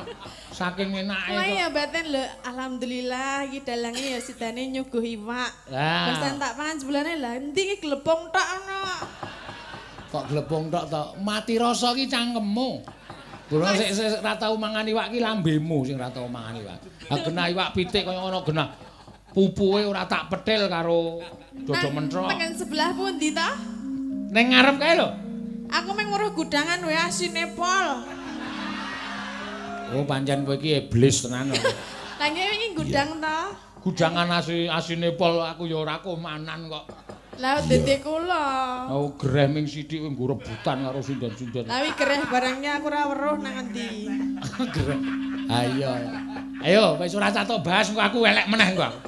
Iya. Aku nganti diarani dalang gule kubis mangkel banget aku. Iya. Ana sing komentar barang neng Facebook ana, "Pripun Pak Sino kabare gule kubis ndasmu kuwi aku." Ya ora apa-apa. Gara-gara lambene sinden siji iki ya, Mak. Heeh. Kira kowe nyolong rotiku tok nggo sangu nang Gresik mau bengi to. Ya ben nek ora dicolong iki meng arep dipangan dhewe. Ah apa? Aku ting kowe ndek sangu ora? Sangu Pak. Njaluk sangune aku ora mangan sego iki, njaluk rotine. Oh nggih. Bareng tak buka tak iki rotiku kabeh. Roti suguhan. Wah, mula kok ludes. Mula kok latihan kok nggawa tas ning jerone tas gedhe dilempit. Iya. Jenengan ki ya ngewohke. Apa? Dhuwure buku bol ngisore tas gedhe. Ngewohke meninya iki rotine do dipangan ngono ki. Basan digawa saiki muni digawa. Lah kon piye? Nembung ora apa-apa to wong Jawa ki tembunge, Pak niki kula betane sangu teng Gresik. Ya ora apa-apa. Lah aku kok mau esuk njaluk roti kowe kok isih tak wadan. Lah ngono sing maem sapa? Lho, aku Jenengan ta? Ayo bali nang jenengan meneh kok. Aku ora sida menggawake jenengan berarti. Anjuk ngapa njaluk ijol ya. Ya lek ijol ya ora apa-apa. Oh, oh, kowe ngunek-unekke dalang ki efek ki kaya ngene iki. Iki azabe dalange pelit. Asap dasmu kok. Dadi angine bantre ra umum iki mung bahas roti lho, engko ora bahas liyane. Lah ya men kok ya aku soalnya mangkel kok. Ya, mergane kowe iki kebangetan kok ya. Iya. Ken biyen aku selalu Wiyaga ki nomor satu mergo Wiyaga ki kancaku nyambut gawe. Aku ya ora bakal iso mayang apik ngene tanpa kono kanca-kanca penabuh. Nggih, mulane disuguh sing enak. Ora meng gemak dijembek. Nek wingi iki wis do muni istimewa, sing rusak iki cangkemmu. Apa iya? Ah, kowe iki wis ora tumpeng. Lho, nganggo tumpeng pinggire gudangan Iya, gudangan nggih, Apa bener. suwi suwiri iwak. Suwire Pak aku ora nemu. Ah berarti kalah dhisik karo sinden-sinden iki. Kowe nyiduk dhisik ya ora gelem, gawe wis tin kok ndak selak iwake entek. Gampil mengke engko bareng entek ming cangkemmu omong wae ndak. Kula meng komanan gudangan we asin pol kuwi wis niku tok. Ambek ya dilongi asine. Lale ngelange piye? Ayo carane dikum lagi dipangan. Padake sapi. Kok nyenyengit ora. Iya. Senengane kok. Nek asin iki tandane arep jaluk rabi. e. Sapa? Nek asin, Sapa? asin gawe sapa? Sing gawe rewangku. Oh berarti re- Rewangku wis umur swidak kok arep njaluk rabi iki. Eh, Mbak menawa gelem karo sing ngrebab ki. Iki tuwa ya arep. e. Nek sing ngrebab kuwi pancen ngomong wong tuwa kuwi.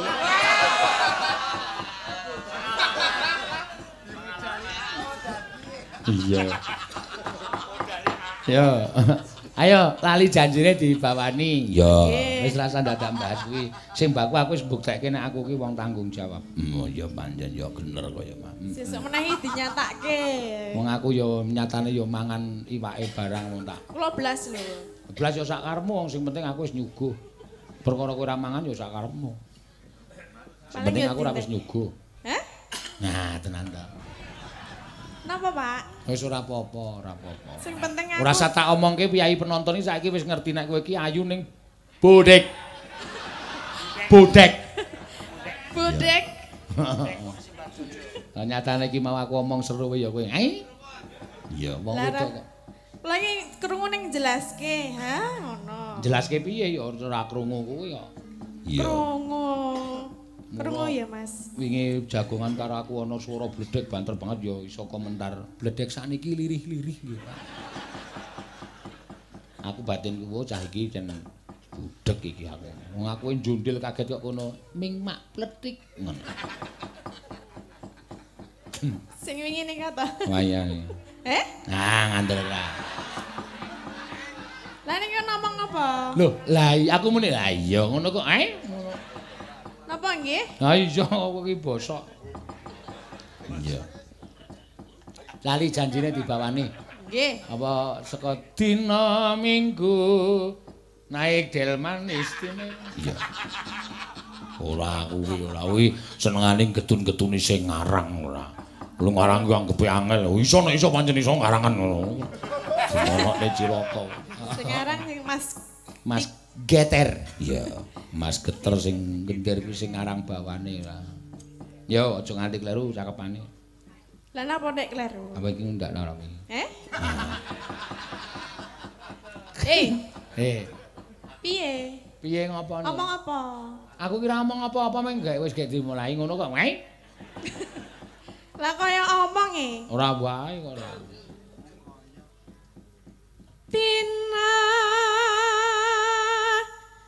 Minggu kang tak anti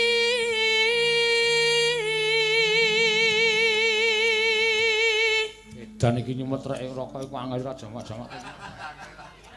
kene tak sumetke. Pak, Waduh. Ayo nggo dagelan ki ngene iki kok ya. Senengane do mbedhek. Ah iya. Kenang keng napa? Iku selamat. Napa nih? Rambuté alis ku lho mak kritik-kritik-kritik. Oh tak kira nganune. Oh, kuwi cangkeme elek to. Napa lho? Nganune iki diomongke. Lambene. Sing jeneng nganu kali basa Jawa nganu iki penon, penonton pikirane wis tekan salah Mula sing mikir. nganggo tembung anu. Lah apa? Ayo oh tak kira nek bringose upamane ngono. Ora ndek brengos kok. Ana wae kok mung tukul. Dikerok apa? Ayo ben sak karepku arep tak kerok sak karepku ora sak karepku kok. Wong Ben- gonamu tok kerok ora ngomong aku kok. Lah ndi aku ora ndek brengos kok. Ayo mak aku mung ngomong kok. Ora ndek brengos ya ora tak kerok. Enggak ora. Iya wis tenan. Aku rasane kaya omongan lanang padha lanang ngono lho nek dadine. Ben ngapa nek dikerok? Ya ben apik, bagus kaya. Kene tak semetke. Gah. Lah ngapa? Mos. Gah ora. Mar tok nyunyukke cangkemku mesti. Kok ngerti? Ya mesti. Eh nun sewu Pak ngono. Oh. Iya. Ya. Tina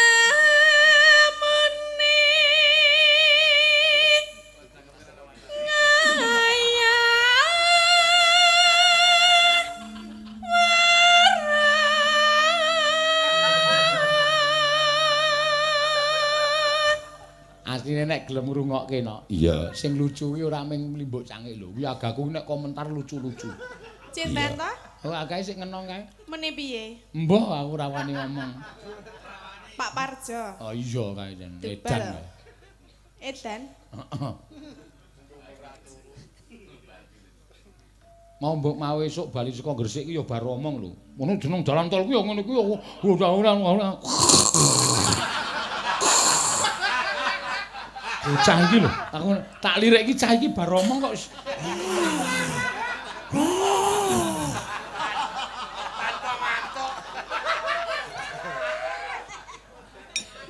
Kok kula nggih tau e pas bareng ning kok batinku Pak Seno kok nggawa macan to iki ya. Bulane sing ngorok. Sing ngorok parjo karang ya. Ah sopire wedi kok. Lah, Mobile dinggirke iki mesine rada nyuwara ya, Mas. Dudu, iki lho cangkeme iki.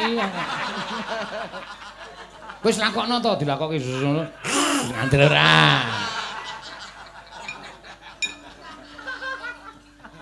Iya.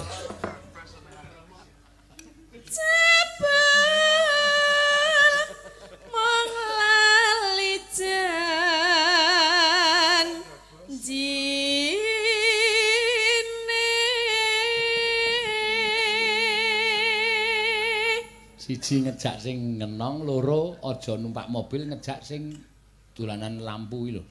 Cinten. Kacamata ngedep gong beri iki lho. Lah napa? Engko mo- montormu bane kaya keseselan kerikil. Kok saged? Nek turu tek tek tek tek tek tek tek tek tek tek tek krotek krotek krotek. Apa untune ya? Nah, aku neng Jakarta iki ya mandeg gara-gara kuwi. Iya. Ya melu aku melu sak mobil, ya melu aku nggo kanca greneng-greneng. Liwat ring kono Colomadu kono ya. aku. Ron ron baron sopirku jenenge Baron. Ron ron no, Pak. Bane ketoke kaya ana bakune iki. Napa nggih? Medun aku cah loro ku ora tak gugah. Tak dileki ora ana ban papat iki terus tak buka jendelane. Iki apa ron pakune? Temu di Pak, ning cangkem iki apa?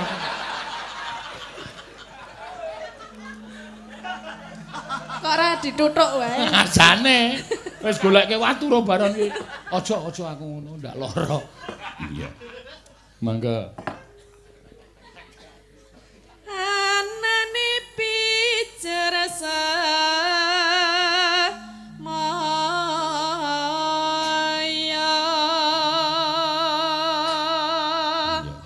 Apa romansamu sih janji dan kiri ora ndek ciri kok. Duwe ciri kabeh. iki. Sinten? Nek takon takon aku, ngaku ki nek do turu do tak cek kok. Tak takon. Anu numpak bis gede kae ngris tengah wengi perjalanan aku mesti mlaku. Tak delok iki turune cirine piye. Prastiwi kae nek turu ngene iki. Mosok turu kedep? Takonono kowe iki meneh sok mlaku-mlaku. Berarti ora turu nek kedep. Kaya ngimpi ngimpi medeni kae lho. Jejere kae keneke kae. Mbak Ayu. Wah, kae elek meneh kae. Lah no. Iki nek wis ra mingkem blas. no. Milih ora? Heh? Kanggo milih ora? Sapa? Niku. Ora, nek ku ora tertib ngono. Kok anggere kene ditempekne. Kaya kaya Amit Sewu, kaya silit pitik areng ngendhok kae. Lambene. Nek neti. Nek neti mesti nek turu ki mesti kok ba- ora menggok barang kok mesti ambruk lho. Iya. Eh kok ambruk ambruke nendi? Ayo mbok. Lima panengen. Wong nek kudune nek menggok ki lumrah terus nengen ya ambruk ngene. Menggok nengen ya niku ya ora ora bisa lurus barang ya. Aduh.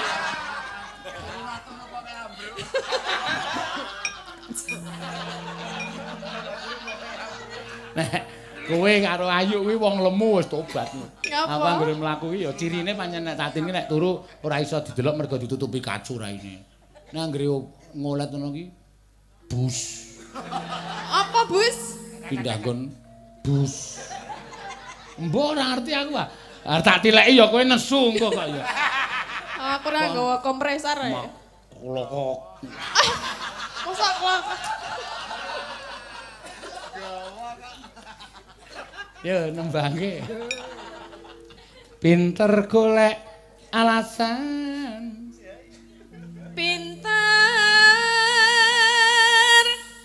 golek alasan. Lah, ya nganggo. Apa e? Ya ben yo sinden ki butuh kemayu kok seneng ndo dicempaluki to. Pinter golek alasan. Men merakati kok ya. Iki mergo adem dadi Ah, malah iso iki. Ben piye Ngandar-andar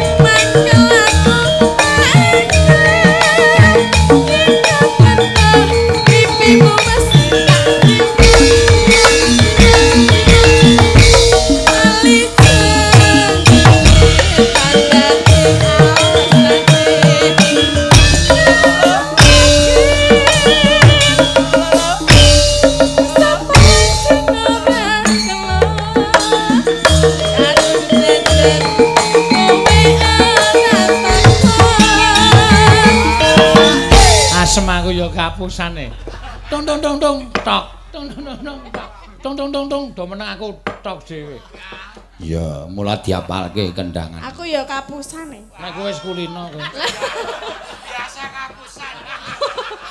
Kan aku karo sing ngendang urung cocok e. Eh? Urung cocok. Ayo sesuk suwe-suwe ora cocok ngono. Ya. Kudune privat iki ya. Hmm, mana kowe iki aneh-aneh ora. Lah pripun? Aku iki sing nglatih aku kok. Nggih napa? Aku ora cocok. Ayo karang sok bigdae sok nyalahi prosedur. Dadi kudune tang tung tang tung tang tang ngono diganti tang tang tang tang tang tung. Ah. Kuwi padha. Diwalik berarti. Hitungane po eh? Diwalik. Ah, kudu. Lah, trandung trandung, Dang, dendang taruh. Dang, dang, dang, dang, trandung. Ayo kan diwalik. padha, hitungane kan padha. Iya. Ya, mangga. Jancane kowe ning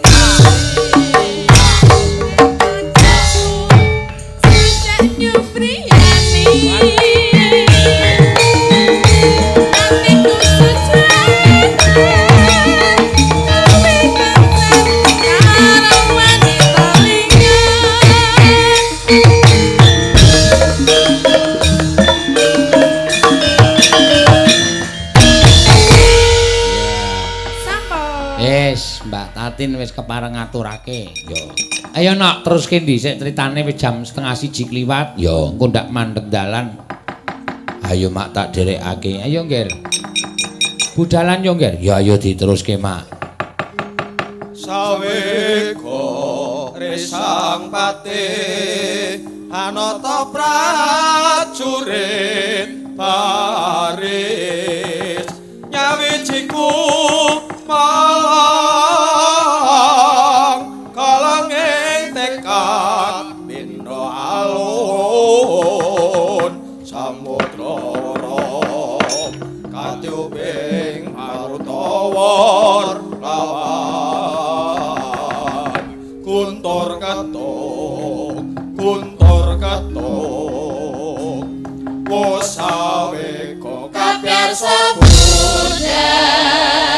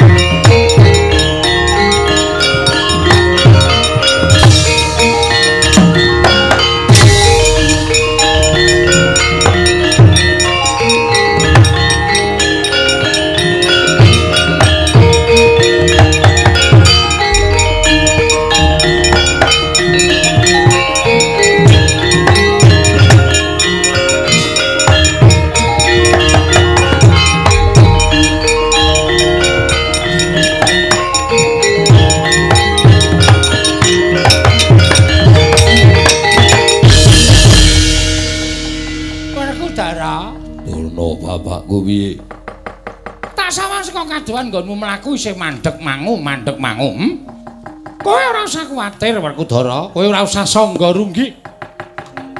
Yen kowe bisa mateni salah sawijining panakawan syukur bake telu cacahe minangka dadi anaking Semar Badranaya.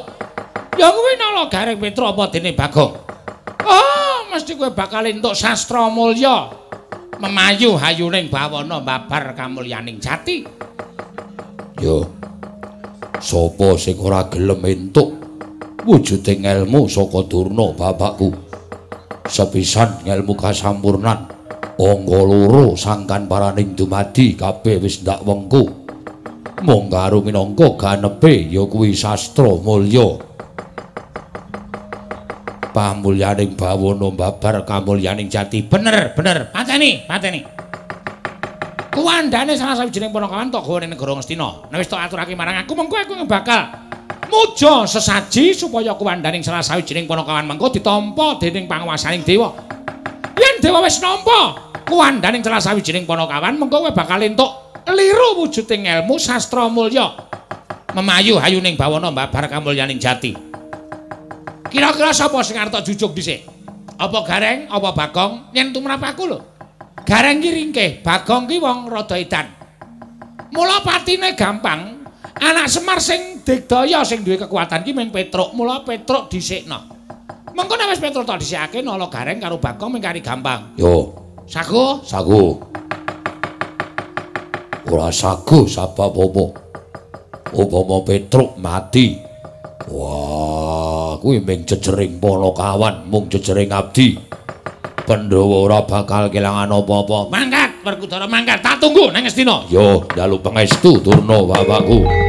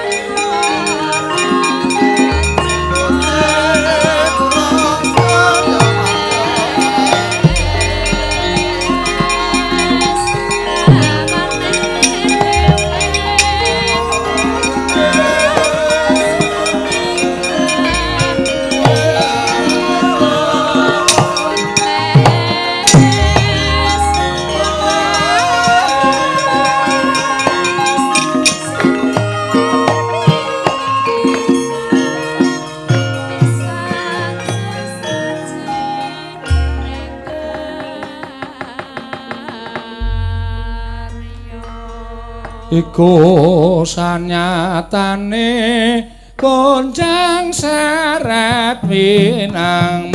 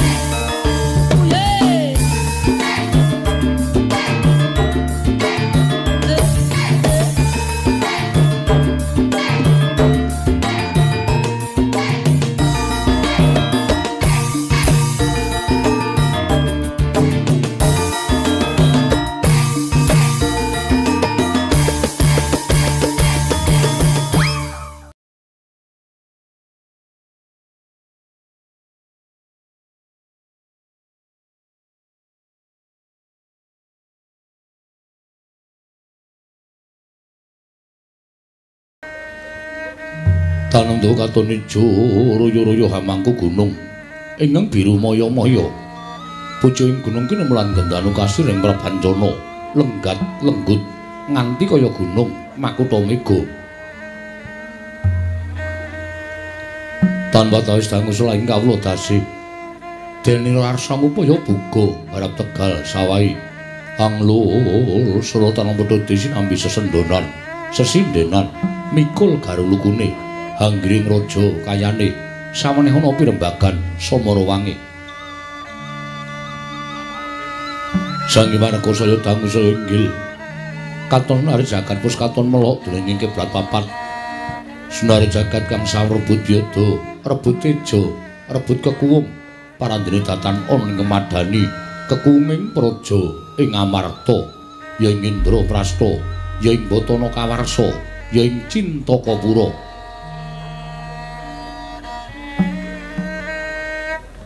Abang tetep karo pambukaning kandha saratri mangki.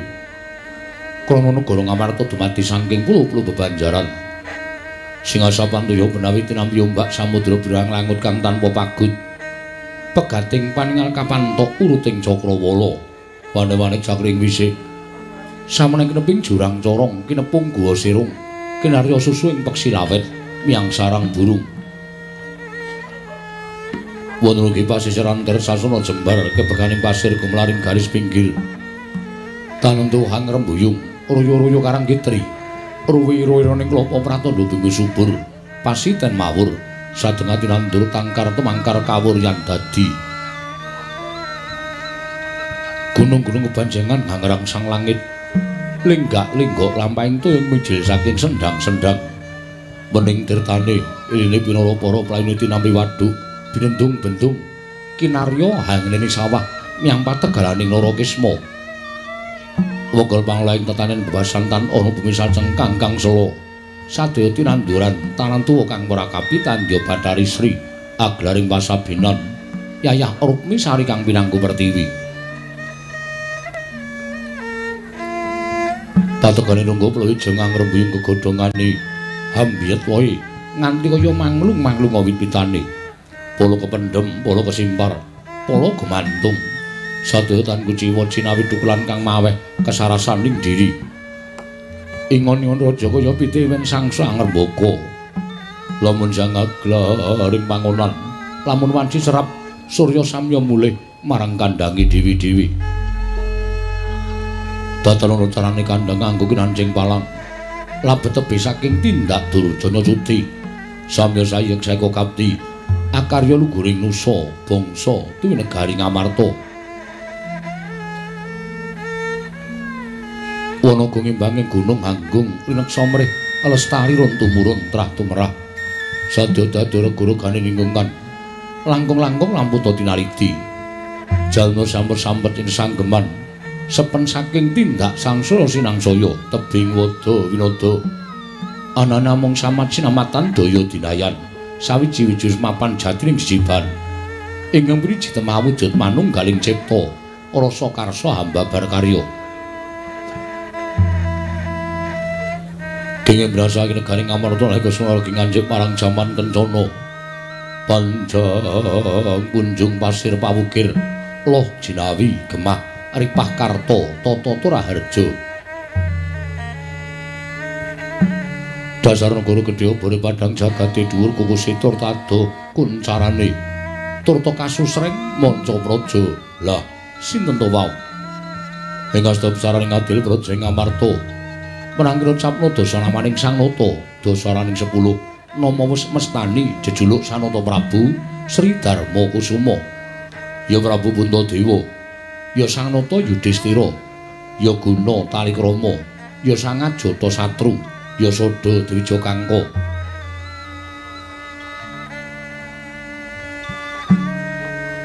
Nyoto nalindra guna ing kagunatan ngendhak gunaning jalmu luhur datanan kulung kuli handapan kasuring sesami.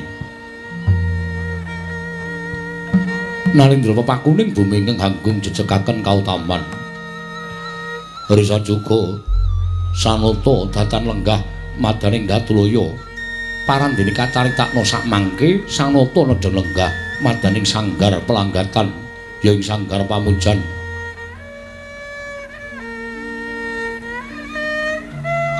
Sinebu sanggaring pura kadang jangkep sekawan ingkang wis mapan telenging sanggar pelanggatan. nenggi panenggak Pandhawa saturing Jodipati yen nunggul pawenang Raden Harya Werkudara ya Sang Bratasena ya Sang Wijasena ya Sang Bimasena ya Sang Kusumayuda ya Sang Kusumadilaka ya Sang Ganda Astratmaja jumeneng angger kancang yayah lintang Bima Sekti Hanuwaktu ing naga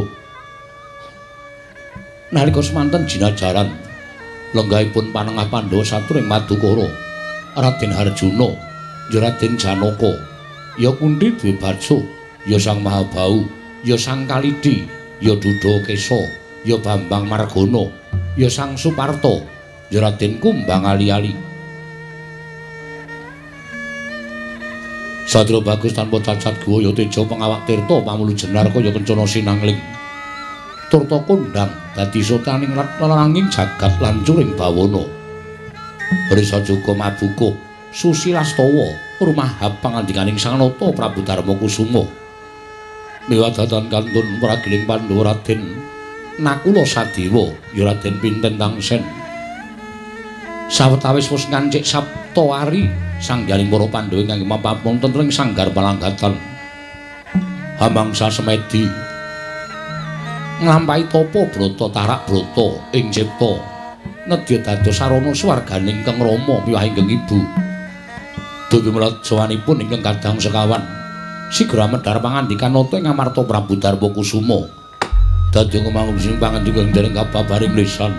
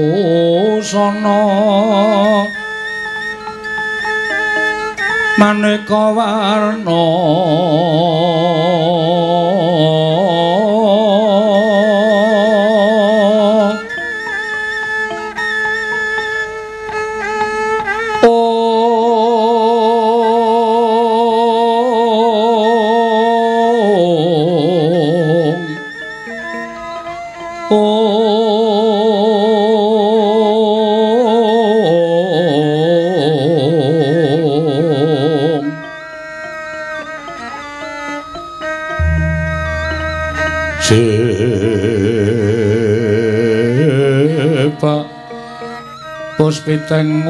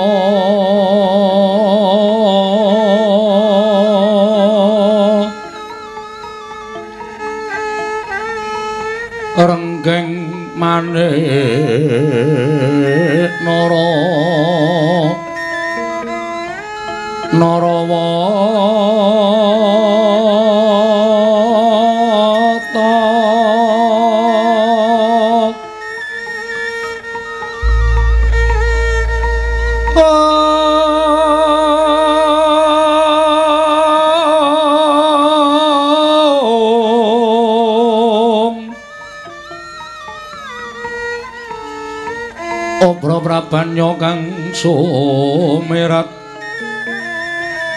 Obro Prabanyo kang sumerat.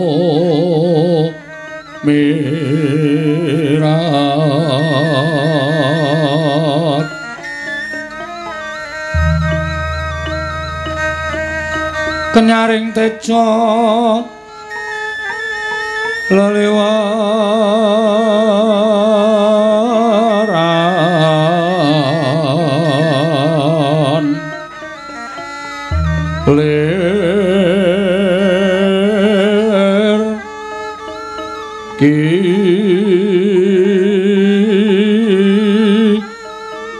siring adik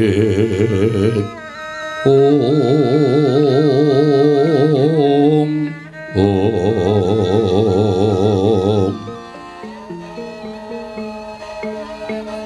wimbo kekanda amrek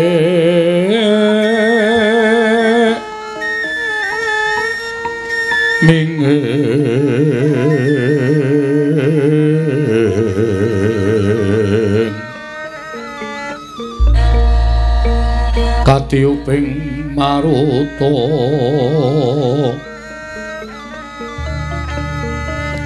maruta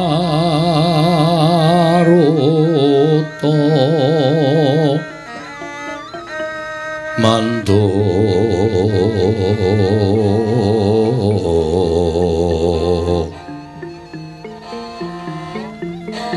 Saparan mangambar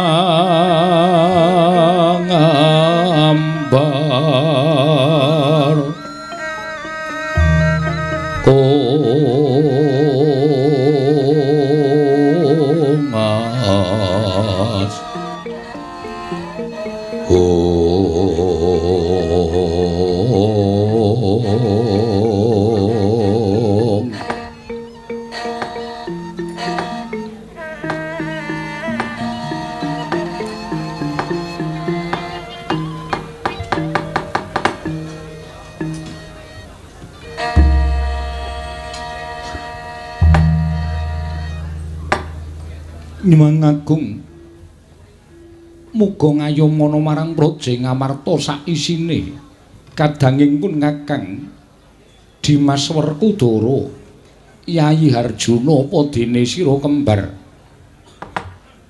Sepira kulumutaning pun Kakang Diagung Pangaksama ya Yayi Dene dina ingkang kaping pitu paripaksa pun Kakang Jogar nggone alaku semedi nalika semana tuwa tandha pitakon sajroning penggaling pun Kakang apa ta sababe.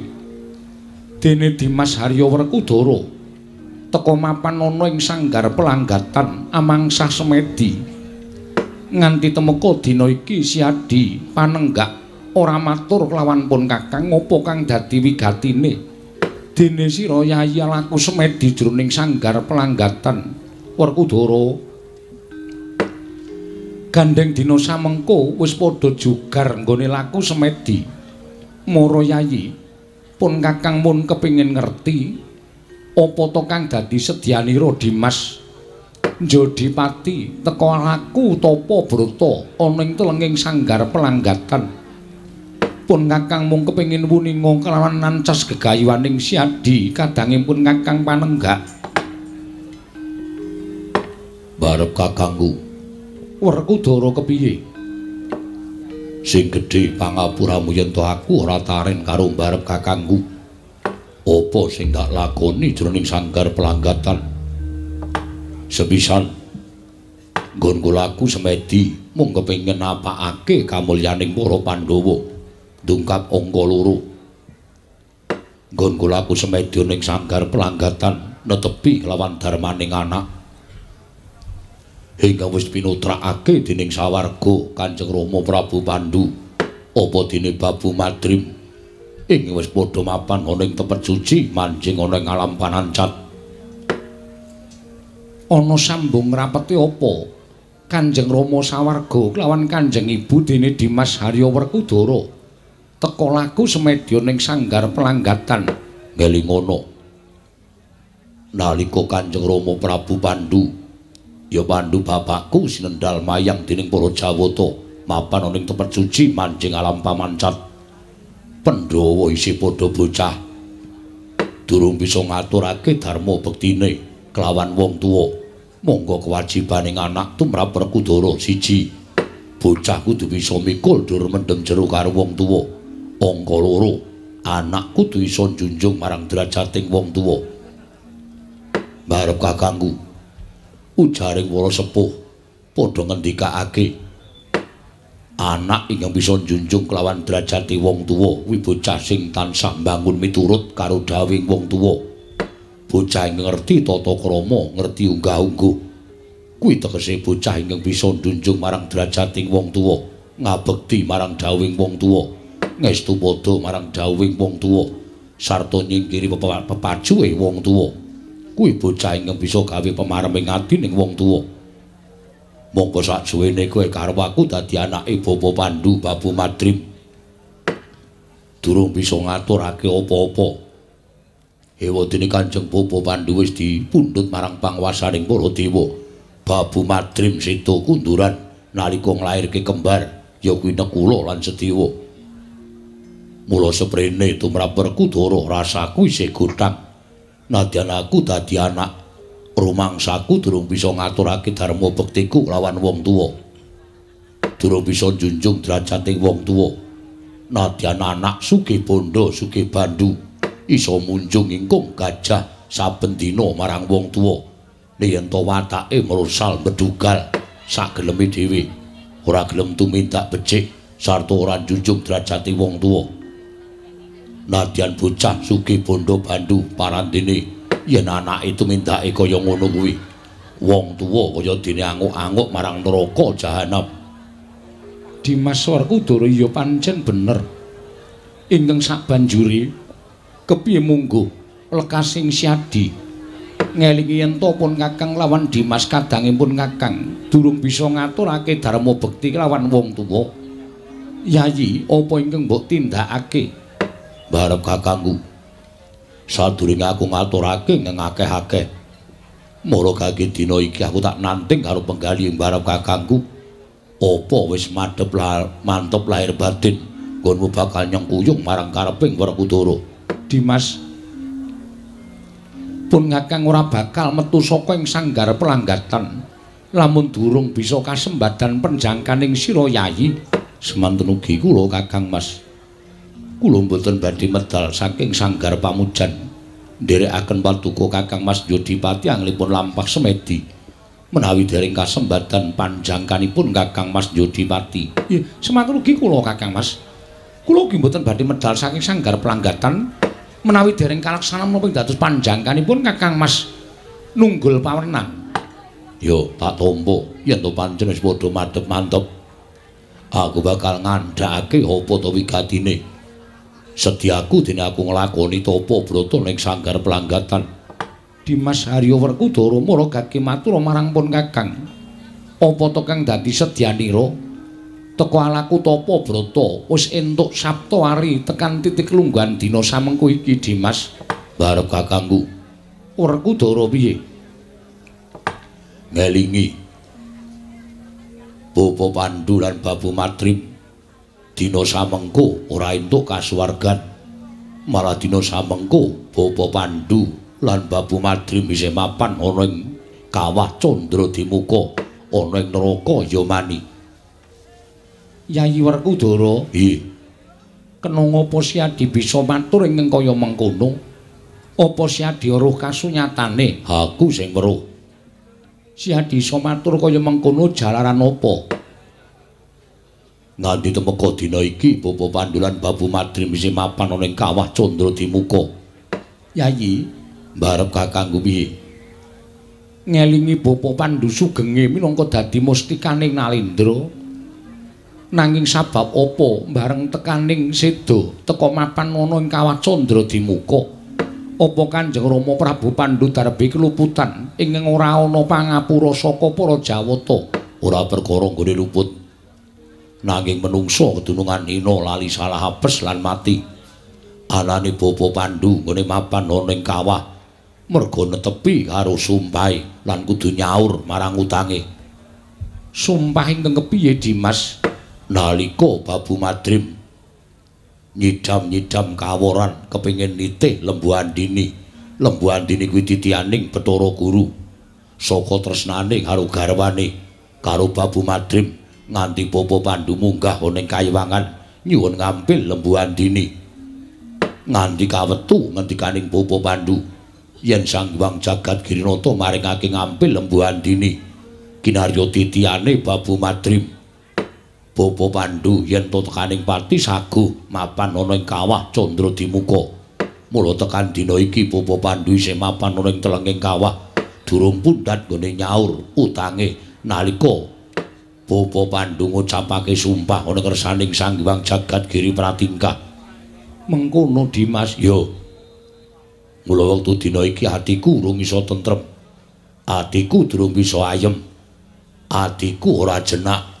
Mergo nadyan aku urip ana ing alam padang nang nanging tasah gawang-gawang ana ing paningalku pasiksan neraka ingkang tansah dadi srana Kanjeng Bapa Pandulan Babu Madrim ora jenak ngene mapan ana ing swarga luka barep kakangku. Andrah ingkang Puswitorum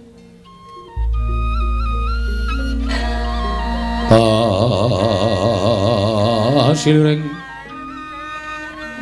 Samirana mre.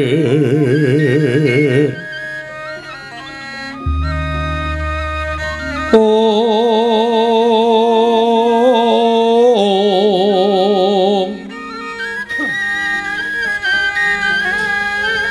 Sekar.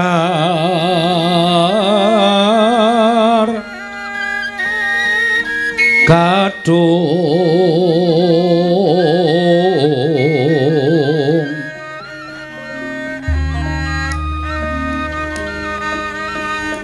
Oh ngas ing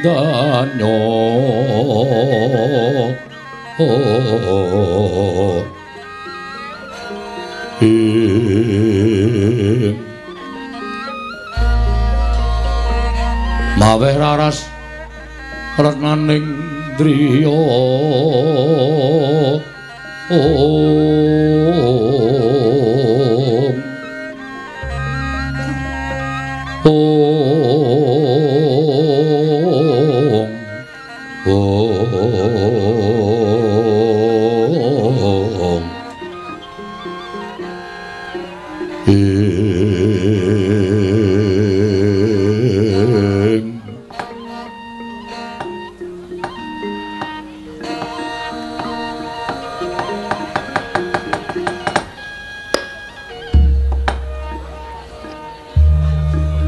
Werkudara barep kakang kuwi jroning syadi matur kelawan pun kakang ana rong pirangan ingkang ndak rasakake.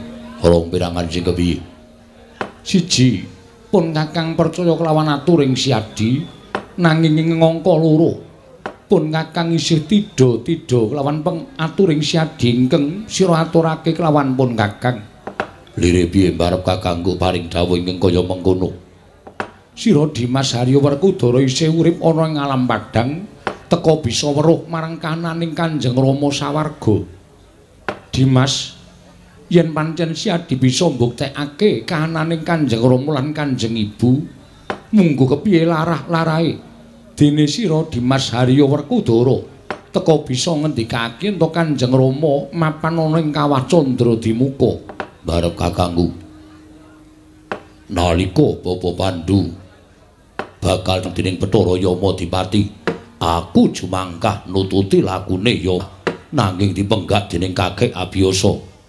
Merga titiwancine durung nekani wahyaning mangsa kala durung titiwanci nalika semula kakek Abiyasa paring dawuh pancen kudu kaya mengkono kudrating Bapa Pandu. Iki dadi kewajibaning anak-anake Pandu ya aku kowe jlamprong lan kembar ingkang kudu bisa nyuwargake marang wong tuwa. Mula pambudidayaku nggone laku tapa brata ana ing telenging sanggar pelanggatan. Mung kepengin napakake kamulyaning wong tuaku. Mung kepengin dadi srana wong tuaku bisa munggah ning kasuwargan. Netepi marang tembunge wong tuwa. Anak ora iso nyuwargake wong tuwa, padha karo wong tuwa nggone anak-anak ora ana gunane. Semono uga Bapa Pandu mesti ngarep-arep marang tumangkaring budi lan pumpam budidayaning para Pandhawa. Nggone gawe srana supaya Bapa Pandu lan Babu Madrim munggah ana ing kasuwargan jati. Mula mbarep kakangku wis dadi tekate Werkudara nadyan taunana windanana arep tak lakoni nggonku nglakoni tapa brata ora bakal jugar nggonku nglakoni tapa brata ning sanggar pelanggatan yen durung ana tandha-tandha dewa paring pangapura marang Bapa Pandu lan ngunggahake Bapa Pandu marang swarga luka. Kadanging pun ngakang Dimas Werkudara.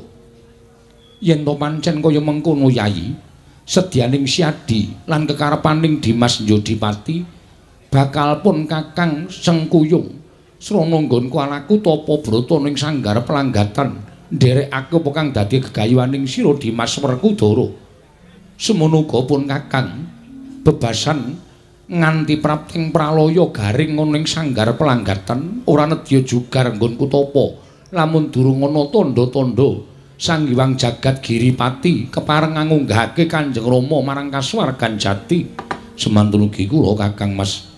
Menawi dados gegayuhanipun maduka Kakang Mas Jodipati. Ingkang raipun maduka nedya nyang kuyung iya semantun ugi kula Kakang Mas ingkang raipun kembar sampun nggadahi tekad sebaya mukti sebaya mati dhateng punden kula para Pandhawa sanesipun menawi gegayuhanipun Kakang Mas kados mekaten kula mboten badhe medal saking sanggar pelanggatan menawi dereng wonten pawarta bilih Kanjeng Rama Prabu Pandhu lan Kanjeng Ibu Madri minggah wonten ing swarga luka. Menika saestu lair batos kula kula konjangan dhateng jengandika Kakang Mas Werkudara. Yo, matur nuwun. Barep kakangku jlamprung lan kembar. Muga-muga pambudidayaaning para Pandhawa netepi karo ngendikaning kakek abiyasa bisa dadi srana kamulyaning wong tuwa. bisa dadi srana kasuwarganing Bapa Pandu lan Babu Madrim barep kakangku. Sigra-sigra yen permana kanca. Sigra rakit nawang sesangka.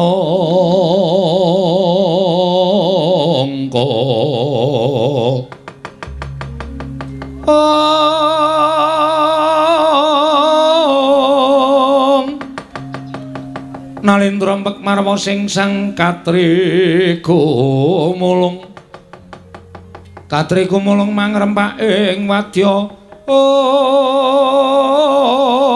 ong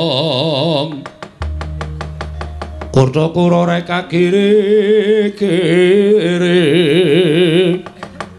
Ro nanggono magawe gelar. Om.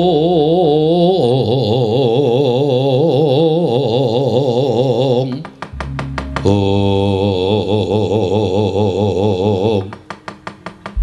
Dereng ngantos sami paripurna nginya imbal wacana nenggi nalindring Amarta Prabu Darma Kusuma semawon ingkang Rai Raden Werkudara datan kantun panangah Pandhawa Raden Janaka gumarenggeng madaning sanggar pelanggatan nadyan datan wonten peranganing punggawa nayaka ing dikeparengaken nyaket marang papaning para Pandhawa. Para ndring mangke cetaya sing pakandikanipun Sang Werkudara nedya lampah tapa genya garwe gegayuhan nyuwargaken ingkang Rama nggih Sang Prabu Pandhudewayana. Kadadak ora ngerti sangkan paran wonten mendung tumiyong saking giling sanggar pelanggatan negari Ngamarta. Peteng dedet limengan. Jagat nganti kaya taman begowo. Dumadakan wonten kreting klirat ing ngandilat telengi mendung temah sigar biak padang trawangan. Anyarengi tumedhaing Sang Hyang Kanika putra ya Sang Hyang Narada. Manjing telengi sanggar pelanggatan karo kaget sangya para Pandhawa Sinongwati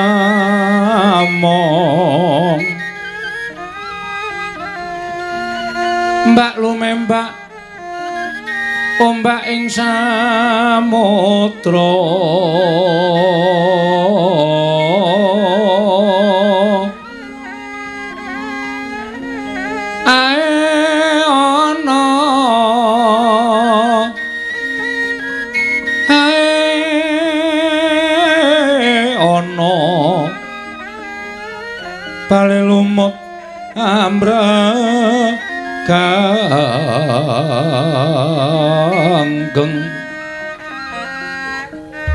awito denceng dencengan. Oh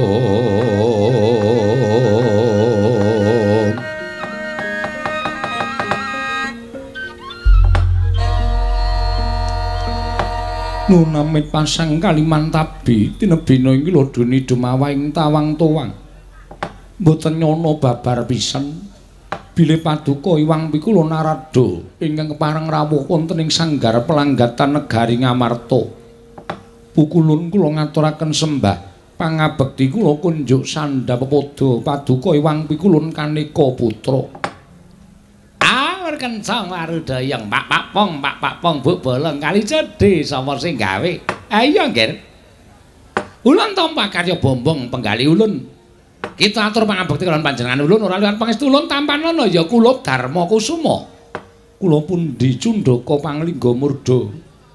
Amawakono kabagyaning gesang kula mboten langkung kasekecakno anggenjengan dika lenggah. Ayo ya wis ora kurang kepenak Prapta ulun ing sanggar pelanggatan negara ing Amarta dina samengko iki ya ngger Puntadewa Drodo kakekku.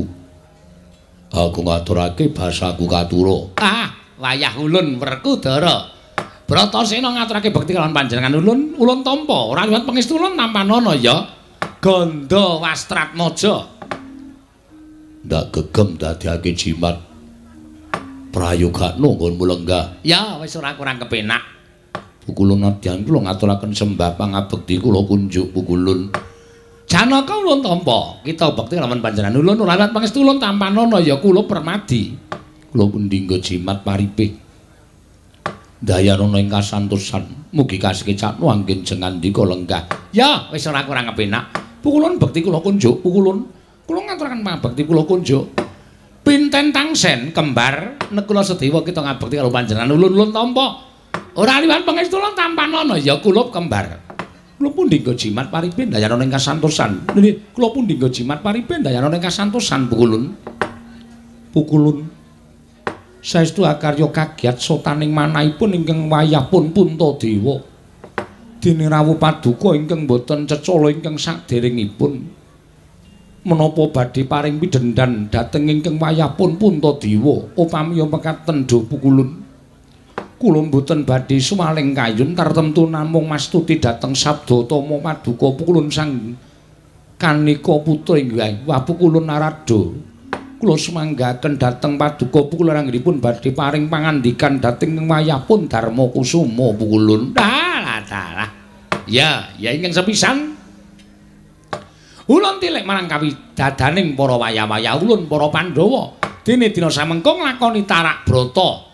Ana ing telenging sanggar pelanggatan mongko wis entuk Sabta Ari kelungguhan dina samengko iki. mekaten pukulun Ya, ya Puntadewa. Dene dungkap angka loro. Rawing pukulun ana ing negara Ngamarta iki. Sayekti ora kosaka pribadi ulun. Kuwi babar pisan ora. Nanging pancen ulun diutus dening Sang Hyang Jagat Girinata supaya rawuh ana ing jagat pranaya ana ing sanggar pelanggatan negara Ngamarta. Wonten pandangon menapa saking Sang Hyang Jagat Girinata Ha iki ngene Puntadewa. Ulun prapta ning sanggar pelanggatan iki didhawuhi dening Sang Hyang Jagat Giri Pratingkah ya Hyang Pikulun Bathara Guru supaya matedhake timbalan marang jeneng kita. Timbalan mau ora kejaba amung kita tinimbalan sowan ana ing kayewangan bareng sak laku ulun dina iki uga. Mekaten pukulun iya. Lajeng wigatosipun menapa dene kula katimbalan sowan dhateng Suralaya. Ah yen bab kuwi ulun ora ngerti. Ulun ki mung nangka dadi dewa kongkonaning Sang Hyang Jagat Girinata, matedhake timbalaning Sang Hyang Jagat Giri Pratingkah, kita katimbalan sowan. Menawi tetila mekaten dosa menapa ing badhe kula sandhang. Menawi kula wantun handhuwa dhateng paringipun Iwang Pikulun Jagat Girinata. Monggo pukulun dinten sakmangke. Mugi kepareng wanganti dhateng ingkang wayahipun Darma Kusuma sowan dhateng kayiwangan. Yen ngono kita sago. Mboten sagah sabab saking menapa. Ah, syukur-syukur. Yen to pancen kita wis sago bakal sowan ning kayangan Suralaya, dina samengkaya bareng sak lakulun munggah ning Suralaya sowan Sang Hyang Jagat Giri Pratingkah. Nurudo kakekku. Werkudara piye? Gosik. Aja kesusu budal. Nanging aku tak matur marang Nurudo kakekku. Kowe arep matur apa? Barep kakangku ditimbali sowan ana ing kayewangan Suralaya. Iya, Ditimbali dening Sang Hyang Jagat Girinata. pancen bener mangkono. Ndak rasa godhang, ndak rasa aneh. Yen to ditimbali mongko Nurudo kakekku ora ngerti apa sebabe ditimbali lan wigatine apa. Mula saiki barep kakangku entuk budal ning Suralaya. Watun Nurudo kakekku paring dawuh wigatine apa lan karepe apa. Bathara guru dene nimbali karo barep kakangku. Werkudara, Iye. yen bab wigatine apa, sedyane apa ulun mboya ngerti. Ulun mboya diparingi dawuh. Mula ulun